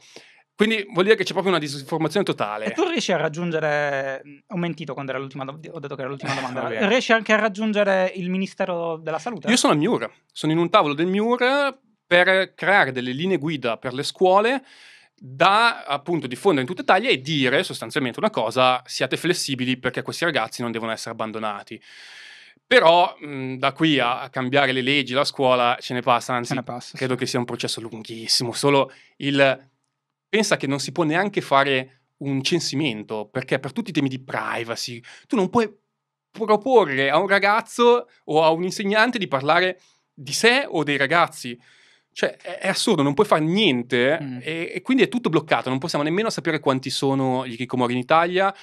Però sì, io sono in contatto con diversi esponenti del, del governo, del MIUR, qualche politico ha incominciato a contattarmi dicendo io posso aiutarti, sono in contatto con tante scuole, con tanti professionisti, ovviamente questo lavoro mi permette di, di entrare un po' più nelle dinamiche. Abbiamo fatto un protocollo in Piemonte con l'USR, il- Mhm. l'ufficio scolastico regionale, dove appunto diamo delle linee guida che vogliamo adesso estendere a livello nazionale.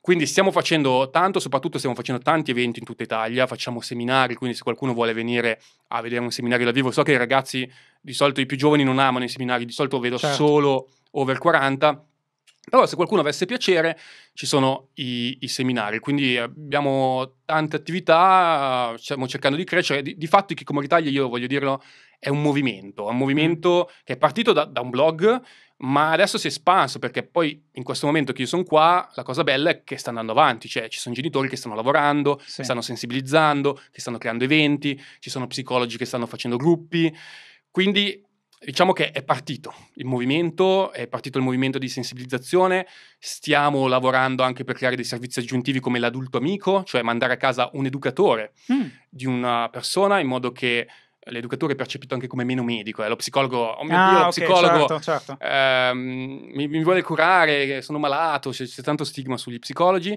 ancora di più sugli psichiatri. L'educatore è più una figura vissuta come ibrida, anche se ovviamente una figura professionale di tutto rispetto al pari di tutte le altre Mhm. che ho citato.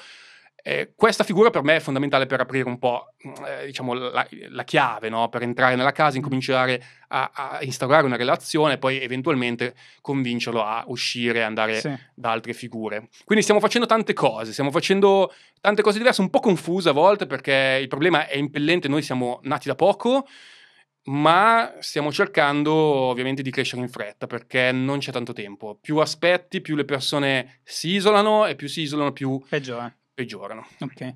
Grazie per il vostro lavoro, eh, grazie per la chiacchierata, veramente interessante. Grazie anche a te. Chiudo dicendo che sono veramente felice di essere qua e sono veramente felice di avere la tazza che la terrò come uno scettro, un premio, ok. perché hai detto che non la vendi, giusto? No, no, non la vendo. Mi Quella è per raccomando. te.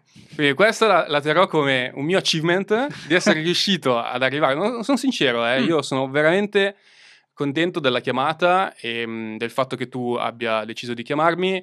Per me era un obiettivo riuscire a- ad arrivare qua. Non sto scherzando perché lo ritengo e lo chiudo con una leccata di culo, tra virgolette, ma tanto ormai Tanto ormai è son qua, finita. sì, quindi, ok. eh, credo che il tuo progetto sia uno dei più interessanti in assoluto per un semplice motivo, che tu puoi essere un esempio alternativo, non positivo o negativo perché il positivo e negativo è mm, non ti piace? molto opzionale, è molto mm, personale, sì. però secondo me tu puoi essere un esempio alternativo per tantissimi ragazzi tra l'altro credo che la tua community sia una delle più affezionate in assoluto, io ti invidio perché le persone veramente ti vogliono bene, come fossi il loro fratello maggiore e questa cosa la sento perché tutti mi dicevano vai da shy, vai mm-hmm. da shy e, e questa cosa si vede, quindi complimenti per il tuo progetto, hai detto che sei un po' in burnout ultimamente. Sì, moltissimo. Però veramente tieni duro perché secondo me è utilissimo, al di là dell'informazione che fai, secondo me è proprio come la fai. Il fatto che sia un'informazione equilibrata, che dia spazio anche a temi che nel mainstream non passino. Quindi, vabbè, è un incoraggiamento che ti voglio dare in diretta nazionale. E poi voglio strapparti una promessa. Ok. Se passerai di nuovo da Milano, non andrai solo da Montemagno, okay.